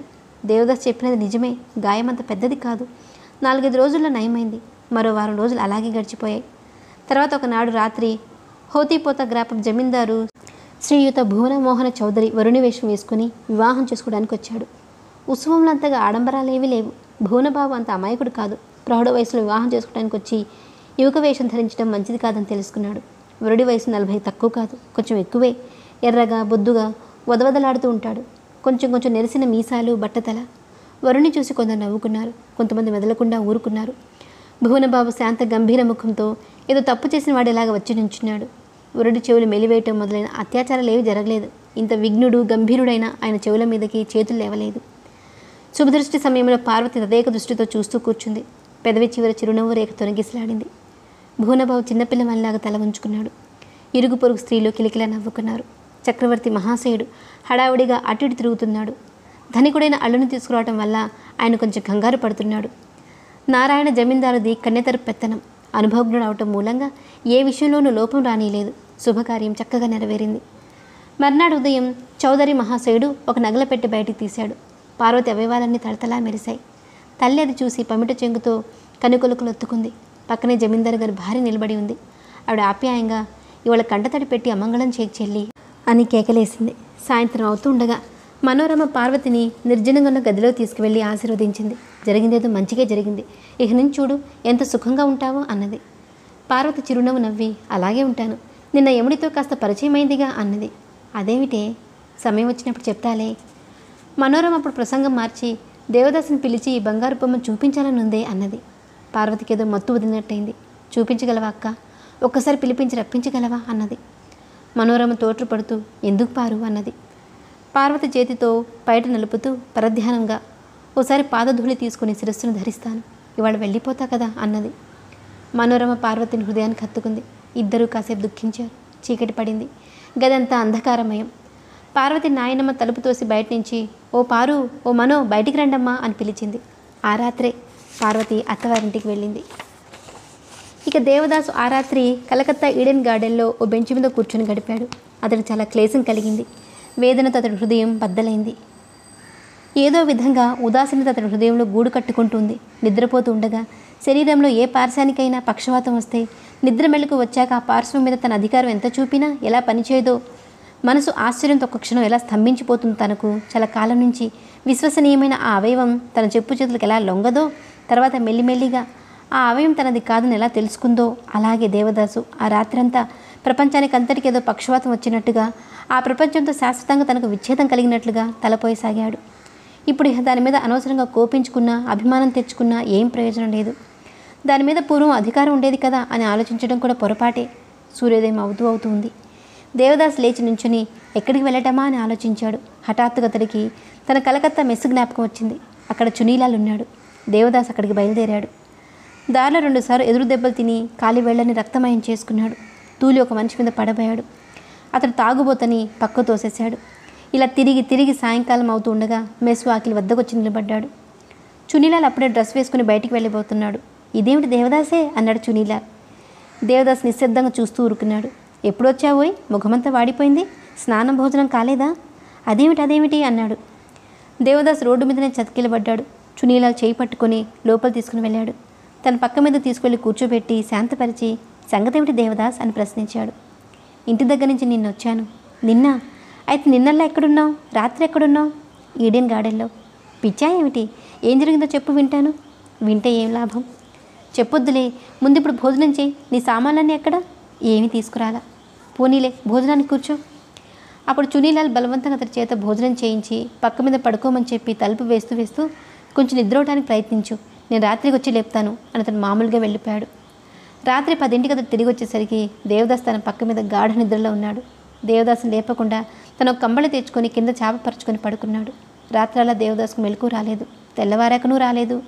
పది గంటలప్పుడు లేచి కూర్చొని చునీలా ఎప్పుడొచ్చావు? అని అడిగాడు. ఇప్పుడే వచ్చాను. అయితే నీకేం ఇబ్బంది కలగలేదు కదా? ఏమీ లేదు. దేవదాస్ కాసేపు తడకేసి చూస్తూ కూర్చొని చునీలాల్ నాకు ఇప్పుడేమీ లేదు. నువ్వు నన్ను పోషిస్తావా? అన్నాడు. చునీలాల్ నవ్వాడు. దేవదాస్ తండ్రి చాలా భాగ్యవంతుడని తెలుసు అతడికి. అందుచేత నవ్వుతూ నేను పోషించిన మంచి మాటే. నీ ఇష్టం వచ్చిన నాలుండు. మరేం దిగులేదు అన్నాడు. చునీలాల్ నీ ఆదాయం ఎంత? నా ఆదాయం సామాన్యమైనదే భాయి. ఇంటి దగ్గర కాస్త పొలం పుట్టురా ఉంది. అది మా అన్న గొప్ప చెప్పి ఇక్కడ ఉంటున్నాను. ఆయన ప్రతి నెలా డెబ్బై రూపాయలు పంపుతూ ఉంటాడు. దానితో మనకిద్దరికి సుఖంగా గడిచిపోతుంది. నువ్వు ఇంటికి వెళ్ళవు ఎందుచేత? చునీలాల్ ముఖం కొంచెం పక్క తిప్పుకొని దానికి చాలా గాథ ఉంది అన్నాడు. దేవదాస్ ఇంకేమీ ప్రశ్నించలా. తర్వాత భోజనానికి పిలిపి వచ్చింది. ఇద్దరు స్నాన భోజనాలు పూర్తి చేసుకుని మళ్ళీ గదిలోకి వచ్చి కూర్చున్నారు. దేవదాస్ మీ నాన్నతో పోట్లాడావా? అని అడిగాడు చునీలాల్ లేదు. ఇంకా ఎవరితోనైనా? దేవదాస్ అలాగే లేదు అన్నాడు. తర్వాత చునీలాల్ హఠాత్తుగా మరో సంగతి జ్ఞాపకం వచ్చింది. ఓ నీకు ఇంకా పెళ్ళి కాలేదు కదూ? అన్నాడు. ఈ సమయానికి దేవదాస్ మరోవైపు ముఖం పెట్టుకుని పడుకుని ఉన్నాడు. కాసేపటికి చునీలాల్ చూసేసరికి దేవదాస్ నిద్రవుతున్నాడు ఇలా రెండు రోజులు నిద్రతోనే సరిపోయాయి.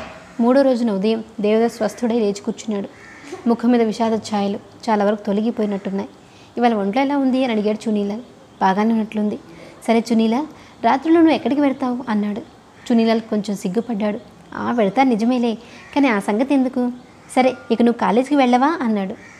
చదువు మానేశాను. ఛీ దానివల్ల ఏం లాభం? ఇక రెండు నెలల్లో నీ పరీక్ష. నువ్వు చదవటంలో కూడా ఏ లోపం చేయలేదు. ఈసారి పరీక్షకు ఎందుకు వెళ్ళవు? చదవటం మానేశాను. చునీలాల్ మెదలకుండా ఊరుకున్నాడు. దేవదాస్ మళ్ళీ ప్రశ్నించాడు. ఎక్కడికి వెళ్తుంటావో చెప్పవు. నీతో నేను కూడా వస్తా. చునీలాల్ దేవదాస్ ముఖం కేసి చూసి నీకు తెలియదా దేవదాస్? నేనంత మంచి చోటికి వెళ్ళను అన్నాడు. దేవదాస్ తనలో తాను అనుకున్నట్లు మంచో చెడో అనుకొని పోనిద్దు చునీ బాబు నన్ను కూడా నీ వెంట తీసుకువెడతావా? అన్నాడు. అలాగే తీసుకువెడతా కానీ నువ్వు రావు. కాదు నేను వస్తాను. ఒకవేళ బాగలేకపోతే మరోసారి రాను. కానీ నువ్వు ఏ సుఖం కోసమని ప్రతిరోజు ఇంత ఉన్ముఖుడై ఉంటావో ఏమైనా కానీ అక్కడికి నేను తప్పకుండా వస్తా. చున్నీలాల్ ముఖం పక్క తిప్పుకొని కొంచెం నవ్వుకున్నాడు. నా స్థిత అని మనసులో అనుకొని పైకి సరే అయితే రా అన్నాడు. మధ్యాహ్నానికి ధర్మదాసు సామాన్లు అవి తీసుకుని వచ్చాడు. దేవదాసుని చూసి ఏడుస్తూ దేవదా ఈ మూడు నాలుగు రోజుల నుంచి మీ అమ్మ ఎంతైనా ఏడుస్తున్నారు అన్నాడు. ఎందుకురా? ఏమి చెప్పకుండా హఠాత్తుగా వచ్చేసావెందుకు ఒక ఉత్తరం తీసి చేతికిచ్చి అమ్మగారి ఉత్తరం అన్నాడు. చునీలాల్ సంగతి ఏంటో తెలుసుకోవాలని చాలా ఉత్సుకతతో చూస్తూ ఊరుకున్నాడు. దేవదాస్ ఉత్తరం చదివి కింద పెట్టేశాడు. తల్లి ఇంటికి రమ్మని బతిమలాడుతూ రాసింది ఆ ఉత్తరం. ఆ ఇంట్లో దేవదాస్ హఠాత్తుగా అంతర్ధానం అవడానికి కారణం కొంతవరకైనా ఊహించగలిగింది ఆ మొక్కతే. ధర్మదాస్ చేతికిచ్చి చాటుగా చాలా డబ్బు కూడా పంపించింది. ధర్మదాస్ అడ్డు చేతికిచ్చి దేవదా ఇంటికి పదా అన్నాడు. నేను రాను నువ్వు తిరిగి వెళ్ళు. రాత్రికి స్నేహితులిద్దరు చక్కగా డ్రెస్ వేసుకుని బయటికి వెళ్ళిపోయారు. దేవదాస్కి ఇదంతా అంతగా ఇష్టం లేదు కానీ చునీలాల్ సామాన్య దుస్తులతో బయటికి పోవడానికి ఇష్టపడలేదు. రాత్రి తొమ్మిదింటికి వాళ్ళు ఎక్కిన బాదుగ బండి చిత్పూర్లో ఒక రెండు అంతస్తుల మేడ ముందుకు వచ్చి నిలబడింది. చునీలాల్ దేవదాస్ చేయి పట్టుకుని లోపల ప్రవేశించాడు. ఆ గృహస్వామిని పేరు చంద్రముఖి. ఆమె ప్రత్యుత్థానం చేసి లోపల తీసుకెళ్ళింది. ఈసారి దేవదాస్ శరీరం యావత్తు జ్వలించిపోయింది. అతడు కొన్నాళ్ళ నుంచి తనకు తెలియకుండానే ఆడవల్ల నీడన్న విముఖుడవుతూ వచ్చాడు. చంద్రముఖిని చూడగానే హృదయంలో అణిగి ఉన్న అసహ్యత దావానలంగా హృదయమంతటా ప్రజ్వరిల్లింది చునీలాల్ ముఖం కేసి ముఖం చిట్లించుకొని చునీలాల్ ఇలాంటి దౌర్భాగ్య చోటు తీసుకొచ్చావా? అన్నాడు. అతడి కంటలోని తీవ్రతను అతడి దృష్టిని చూసి చునీలాల్ చంద్రముఖి ఇద్దరూ తెల్లబోయారు. మరుక్షణంలోనే చునీలా తను తను సంభాలించుకొని దేవదాస్ చేయి పట్టుకొని పద లోపలిపై కూర్చుందాం పద అన్నాడు. దేవదాస్ ఇంకేమీ మాట్లాడలా. గదిలోకి వచ్చి కింద పరిచిన తివాసి మీద విచారంతో తల వంచుకొని కూర్చున్నాడు. చంద్రముఖి కూడా దగ్గరలోని మెదలకుండా కూర్చుంది. దాసిది వెండి హుక్కాలో పొగాకు వేసి తీసుకొచ్చింది. దేవదాస్ దాన్ని సృష్టించలేదు. చునీలాల్ ముఖం కందగడ్డలా చేసుకుని మాట్లాడకుండా కూర్చున్నాడు. దాసి దానికి ఏం చేయాలో తోచక చివరికి హుక్క చంద్రముఖి చేతికి అందించి వెళ్ళిపోయింది. ఆమె ఒకటి రెండుసార్లు పీలుస్తుండగా దేవదాస్ ఆమె ముఖంకి తీక్షణంగా చూసి హఠాత్తుగా అంతులేని అసహ్యంతో ఎంత అసభ్యం! చూడటానికి ఎంత రోత! అనుకున్నాడు. ఇంత పూర్వం చంద్రముఖిని ఎవ్వరూ ఎప్పుడూ ఓడించలేకపోయారు. ఆమెను చిన్నబోయేటట్టు చేయడం చాలా కష్టం. కానీ దేవదాస్ హృదయంలోని ఏవగింపుతో కలిసి వచ్చిన మామూలు మాటలు కఠినమైన మాటలు కూడా ఆమె మనస్సుకు సూటిగా తాకాయి. ఒక క్షణం ఆమె హతబుద్ధినైంది. కానీ కాసేపు అయ్యాక మరి రెండుసార్లు గుడుగుడుమని ధ్వనించడం అయితే ధ్వనించింది కానీ చంద్రముఖి నోటి నుంచి పొగ మాత్రం బయటికి రాలేదు. అప్పుడు ఆ హుక్కా చునీలాల్ చేతికిచ్చి ఒకసారి దేవదాస్ ముఖం కేసి చూసి మెదలకుండా కూర్చుంది. ముగ్గురి నోటి వెంట మాట లేదు. గుడుగుడుమని హుక్కా ధ్వని మాత్రం వినిపిస్తుంది. అది కూడా ఏదో భయం భయంగానే. స్నేహితులంతా కలిసి కూర్చున్నప్పుడు ఏదో వివాదం చెలరేగి చటుక్కున కలహంగా మారితే ఆ వివాదం అక్కడితో ఆపి ఎవరికి వారు నిశ్శబ్దంగా కూర్చొని ఇలా ఎందుకైందని తమలో తాము ఎలా అనుకుంటారో అలాగే ఈ ముగ్గురు కూడా అనుకోసాగారు. ఎలా అయితే ఏం ఎవరికీ ఖుషీగా లేదు. చునీలాల్ హుక్కా పక్కన పెట్టేసి కింద దిగి వెళ్ళిపోయాడు. బహుశా చేసేందుకు ఏ పని తోచుకుని వెళ్ళుంటాడు. గదిలో ఇద్దరే కూర్చునున్నారు. దేవదాస్ తల పైకెత్తి నువ్వు డబ్బు తీసుకుంటావా? అని అడిగాడు. చంద్రముఖి చటుక్కున జవాబు ఇవ్వలేకపోయింది. ఆమెకి ఇప్పుడు ఇరవై నాలుగో ఏడు. గడిచిన తొమ్మిది సంవత్సరాల నుండి విభిన్న స్వభావాలు గల వ్యక్తులతో ఆమె ఘనిష్ట పరిచయం ఉంది కానీ ఇంత విచిత్ర వ్యక్తిని ఆమె ఎప్పుడూ చూడలేదు. కొంచెం వెనుక ముందాడుతూ మీ పాదధులి పడటం వల్ల అనబోయింది. దేవదాస్ ఆ మాట పూర్తి చేయకుండానే పాదధులి సంగతి కాదు నువ్వు డబ్బు తీసుకుంటావా? అన్నాడు. తీసుకోకే? లేకపోతే మాకు జరిగేదేలా ఆగు ఇక విందల్చుకోలేదు. అని జేబులో నుంచి ఒక నోటు తీసి చంద్రముఖి చేతిలో పడేసి వెళ్ళబోయినాడు. అది ఎన్ని రూపాయల నోటు ఒకసారి చూడనైనా చూడలా. చంద్రముఖి వినయంగా అప్పుడే వెళ్ళిపోతారా? అని అడిగింది. దేవదాస్ జవాబు చెప్పలేదు. వరండాలోకి వచ్చి నిలబడ్డాడు. డబ్బు తిరిగి ఇచ్చి వేద్దాం అనిపించింది చంద్రముఖికి ఒకసారి. కానీ ఏదో తీవ్రమైన సంకోచంతో ఇవ్వలేకపోయింది. బహుశా కొంచెం భయం కూడా కలిగిందేమో. అది కాక చివాట్లు తిట్లు అవమానాలు సహించే అలవాటు ఆమెకు ఉండటం వల్ల మాట్లాడకుండా గుమ్మం పట్టుకుని నించుంది కదలకుండా. దేవదాస్ మెట్లు దిగి కిందికి వెళ్ళాడు. దిగుతుండగా మధ్యలో చున్నీలాలు ఎదురుపడ్డాడు. అతడు ఆశ్చర్యంతో ఎక్కడ పెడుతున్నావు దేవదాస్? అని అడిగాడు. ఇంటికి పెడుతున్నాను. అదేమిటి? దేవదాస్ మరో రెండు మెట్లు కిందకి దిగాడు. పద నేను వస్తాను అన్నాడు చునీలాల్ దేవదాస్ దగ్గరకు వచ్చి అతడు చేయి పట్టుకొని రా అన్నాడు. ఒక నిమిషం నుంచో పైకి పోయి వస్తాను ఒకసారి. కాదు నేను పెడతాను. నువ్వు తర్వాత రా అని దేవదాస్ వెళ్ళిపోయాడు. చునీలాల్ పైకొచ్చి చూశాడు. చంద్రముఖి ఇంకా అప్పటికి అలాగే గుమ్మం పట్టుకుని నిలబడింది. అతని చూసి స్నేహితుడు వెళ్ళిపోయాడా? అన్నది. చంద్రముఖి చేతిలో నోటు చూపించి మంచితనం దక్కించుకోవాలంటే దీన్ని తీసుకెళ్ళి స్నేహితుడికి అన్నది. అతడు ఇష్టపడి వచ్చాడు. నేను మళ్ళీ తీసుకెళ్ళి ఇవ్వటం ఎందుకు? ఇంతసేపటికి చంద్రముఖి కొంచెం నవ్వసాగింది. కానీ ఆ నవ్వులో ఆనందం లేదు. ఇష్టపడి ఇవ్వలేదు. నేను డబ్బు తీసుకుంటాననే కోపంతో ఇచ్చి వెళ్ళాడు. ఆ చునిబాబు అతడేమైనా పిచ్చివాడా? అన్నది. ఏమాత్రం కాదు. అయినా కొన్నాళ్ళ నుంచి అతని మనసు ఏమీ బాగుండలేదు. మనసు ఎందుకు బాగాలేదో తెలుసా? తెలియదు బహుశా ఇంట్లో ఏదో జరిగి ఉంటుంది. అయితే ఇక్కడికి నువ్వు తీసుకొచ్చావు? నేను తీసుకుని వద్దామనుకోలేదు అతనంతట అదే బలవంతానొచ్చాడు వచ్చాడు. చంద్రముఖి ఈసారి నిజంగా విస్మితురాలైంది. బలవంతానొచ్చాడా వచ్చాడా? అన్నీ తెలిసే. చునీలాల్ కొంచెం ఆలోచించి తెలియకేం? అన్నీ తెలుసు. నేను మభ్యపెట్టి తీసుకురాలేదు అన్నాడు. చంద్రముఖి కాసేపు మెదలకుండా ఊరుకొని ఏం ఆలోచించిందో? చుని నాకు ఉపకారం చేస్తావా? అని అడిగింది. ఏమిటి? నీ స్నేహితుడు ఎక్కడుంటాడు? నా దగ్గరే. మరో రోజున అతను తీసుకురాగలవా? తీసుకురాలేననుకుంటా. ఇంత పూర్వం ఎప్పుడు అతడి ఇలాంటి చోటుకు రాలేదు. ఇక ముందు కూడా రాడనుకుంటా. కానీ ఎందుకో చెప్పు చూద్దాం. చంద్రముఖి కొంచెం స్థూలంగా నవ్వి చుని ఎలాగైనా కానీ మభ్యపెట్టి అతన్ని ఒక్కసారి తీసుకురా అన్నది. చుని నవ్వాడు. కళ్ళు గిలిగించి విసిరి కొట్టడంతో ప్రేమ కలిగిందా ఏం? అన్నాడు. చంద్రముఖి కూడా నవ్వింది. చూడకుండానే నోటిచ్చి వెళ్ళాడు. ఇంకా గ్రహించలా? చునీలాల్ చంద్రముఖిని కొంతవరకు అర్థం చేసుకున్నాడు. తల తిప్పుతూ వద్దు వద్దు. అలాంటి మనుషులు వేరు. నువ్వు అలాంటి దానివి కాదు. కానీ నిజమేమిటో చెప్పు అన్నాడు. నిజంగా కొంచెం మమత ఏర్పడింది. చునీ నమ్మలేదు. నవ్వుతూ ఈ ఐదు నిమిషాల్లోనే అన్నాడు. ఈసారి చంద్రముఖి కూడా నవ్వసాగింది. ఏమైతే ఏం? మనసు బాగా ఉంటే మరో రోజును తీసుకురా. మరోసారి చూడాలి. తీసుకొస్తావా? ఏం చెప్పగలను? నా మీద ఒట్టే. సరే చూస్తాను. పార్వతి అత్తవారింటికి వచ్చింది ఇల్లు చాలా పెద్దది. పూర్వ పద్ధతిగా కట్టిన ఇల్లు కానీ నవీన పద్ధతుల్లో కట్టింది కాదు. వీధి వైపున పెద్ద హాలు అంతఃపురం పూజా గృహం నాట్య మందిరం అతిథి గృహం కచేరీ హాలు ఎంతోమంది దాసాదాసీలు పార్వతి ఆ ఇల్లు చూసి విస్తుపోయింది. తన భర్త జమీందారని శ్రీమంతుడని ఆమె విన్నది కానీ ఇంత పెద్ద భాగ్యవంతులని అనుకోలేదు. లేనిదల్లా ఇంట్లో మనుషులే. ఆత్మీయులు కానీ బంధువులు కానీ ఇంచుమించు ఎవ్వరూ లేరు. అంత పెద్ద అంతఃపురము శూన్యంగా ఉంది. పార్వతి పెళ్ళి కూతురు కాదు ఏకంగా గృహిణి అయింది. రాగానే ఎదురొచ్చి సాధారణంగా ఇంట్లో తీసుకెళ్ళటానికి ఓ ముసలి మేనత్త మాత్రం ఉంది. ఆవిడ తప్ప మిగిలిన వారంతా దాసదాసీలే. సాయంకాలం అవబోయే ముందు అందమైన ఇరవై సంవత్సరాల యువకుడు వచ్చి నమస్కరించి పక్కన నిలబడి అమ్మా నేను మీ పెద్దబ్బాయిని అన్నాడు. పార్వతి అవగుంఠనంలోంచి చూసింది. మాట్లాడలేదు. అతను మరోసారి నమస్కరించి అమ్మా నేను మీ పెద్దబ్బాయిని నమస్కరిస్తున్నాను అన్నాడు. పార్వతి అవగుంఠనాన్ని మరికొంచెం ముందు లాక్కొని మృదు స్వరంతో రా నాయన రా అన్నది సారి అతడి పేరు మహేంద్రుడు. అతడు కాసేపు పార్వతి ముఖం కేసి విస్తుపోయి చూస్తుండిపోయాడు. దగ్గరలోనే కూర్చొని వినీత స్వరంతో చెప్పసాగాడు. మా అమ్మ చనిపోయి రెండు సంవత్సరాలైంది. ఈ రెండేళ్ళు మాకెంతో దుఃఖంతోనూ కష్టంతోనూ గడిచిపోయాయి. ఇవాళ నువ్వు వచ్చావు ఇకనైనా మేము సుఖపడేట్లు ఆశీర్వదించమ్మా. పార్వతి చాలా సహజమైన కంఠస్వరంతో మాట్లాడింది. ఎందుకు మాట్లాడదు? ఏకంగా గృహిణి అయినప్పుడు అనేక విషయాలు తెలుసుకోవాల్సిన అగత్యత మాట్లాడవలసిన అవసరం ఉంటుంది. కానీ ఈ విషయం ఇతరుల దగ్గర కొంచెం అస్వాభికంగా కనిపించవచ్చు. అయినా పార్వతిని బాగా అర్థం చేసుకున్న వాళ్ళు అవస్థా భేదాల వల్ల వివిధ పరివర్తన వల్ల పార్వతి తన వయసుకు మించి పరిపక్వమైందని తెలుసుకోగలరు. అదీ కాక అనవసరంగా సిగ్గుపడి వైదొలగటం నిర్హేతుకమైన జడత్వము సంకోచాలు ఆమెలో ఎన్నడూ లేవు. నా మిగిలిన పిల్లలంతా ఎక్కడైనా అని ప్రశ్నించింది ఆమె మహేంద్రుడు కొంచెం నవ్వి చెప్తాను. మీ పెద్దమ్మాయి నా చెల్లెలు దాని అత్తవారింట్లోనే ఉంది. నేను ఉత్తరం రాశాను కానీ రాలేకపోయింది అన్నాడు. పార్వతి విచారపడి రాలేకపోయిందా? ఇష్టం లేక రాలేదా? అని అడిగింది. మహేంద్రుడు సిగ్గుపడి సరిగ్గా తెలియదమ్మా అన్నాడు. కానీ అతడి మాటలను బట్టి ముఖ కవళికలను బట్టి ఎసోదో కోపం వచ్చి రాలేదని గ్రహించింది పార్వతి. మరి చిన్నబ్బాయి? అని అడిగింది. వాడు త్వరలోనే వస్తాడు. కలకత్తాలో ఉన్నాడు. పరీక్షలు కాగానే వచ్చేస్తాడు. భువన చౌదరి జమీందార్ వ్యవహారాలు స్వయంగానే చూసుకుంటూ ఉంటాడు. అదీ కాక నిత్యము స్వయంగా శాలిగ్రామ పూజలు చేయటం వ్రత నియమ ఉపవాసాలు దేవాలయంలోనూ అతిథి గృహంలోనూ సాధు సన్యాసుల పరిచర్య ఈ పనులు తనతో గడిచిపోతుంటుంది.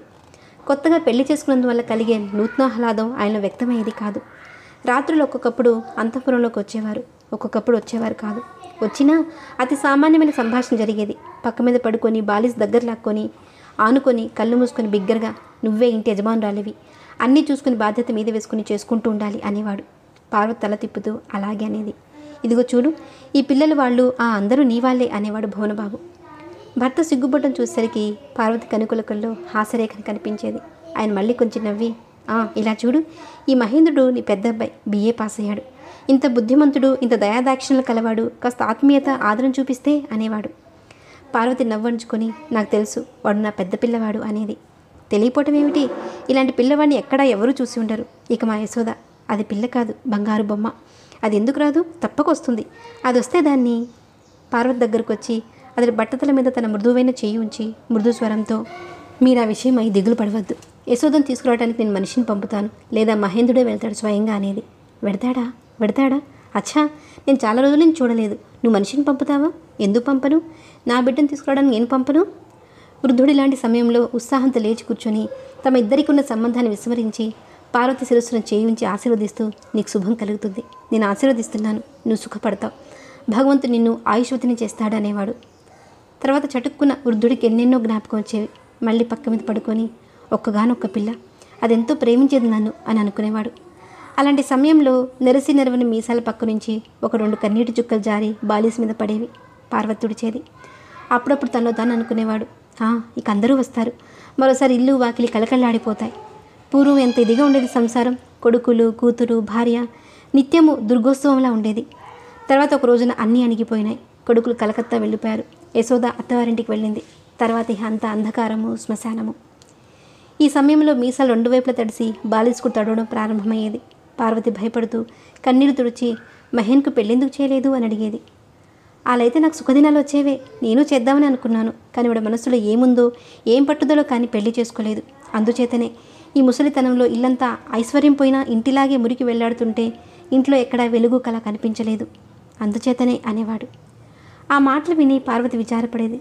కరుణ స్వరంతో నవ్వు తెచ్చుకొని తల ఊగిస్తూ మీరు ముసలివారైతే నేను త్వరలోనే ముసలిదాన్ని అవుతాను ఆడవాళ్ళు ముసలి వాళ్ళు అవటానికి ఎన్నాళ్ళు పడుతుంది? భువన చౌదరి లేచి కూర్చొని ఒక చేత ఆమె గడ్డం పుచ్చుకొని నిశ్శబ్దంగా చాలాసేపు అలా చూస్తూ ఉండిపోయేవాడు. శిల్పప్రతిమను అలంకరించి శిరస్సున కిరీటం ధరింపచేసి ఇటు అటు వంగి చూస్తుంటే అతని ముఖంలో కొంచెం గర్వం మరింత ఆపేక్ష ఎలా ఊడుకుంటూ ఉంటాయో భూనవ ముఖంలో కూడా అలాగే కూడుకునేవి.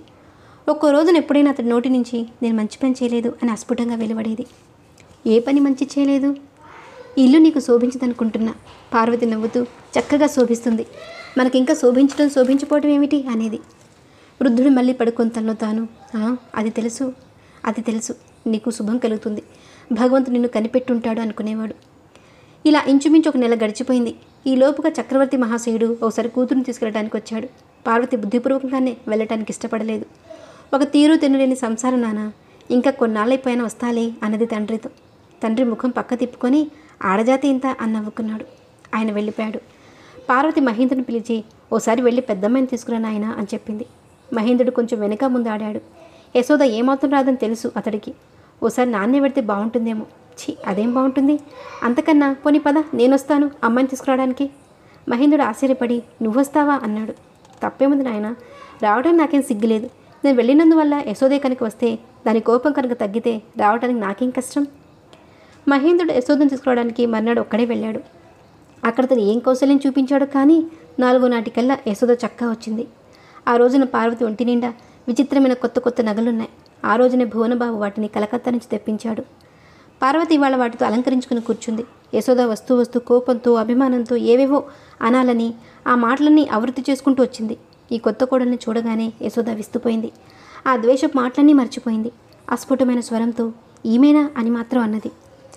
పార్వతి యశోద చేయి పట్టుకుని లోపల తీసుకెళ్ళింది. దగ్గర కూర్చోపెట్టుకుని విసనకర్ర తీసుకుని విసురుతూ మీ అమ్మ మీద కోపం వచ్చిందా తల్లి? అని అడిగింది.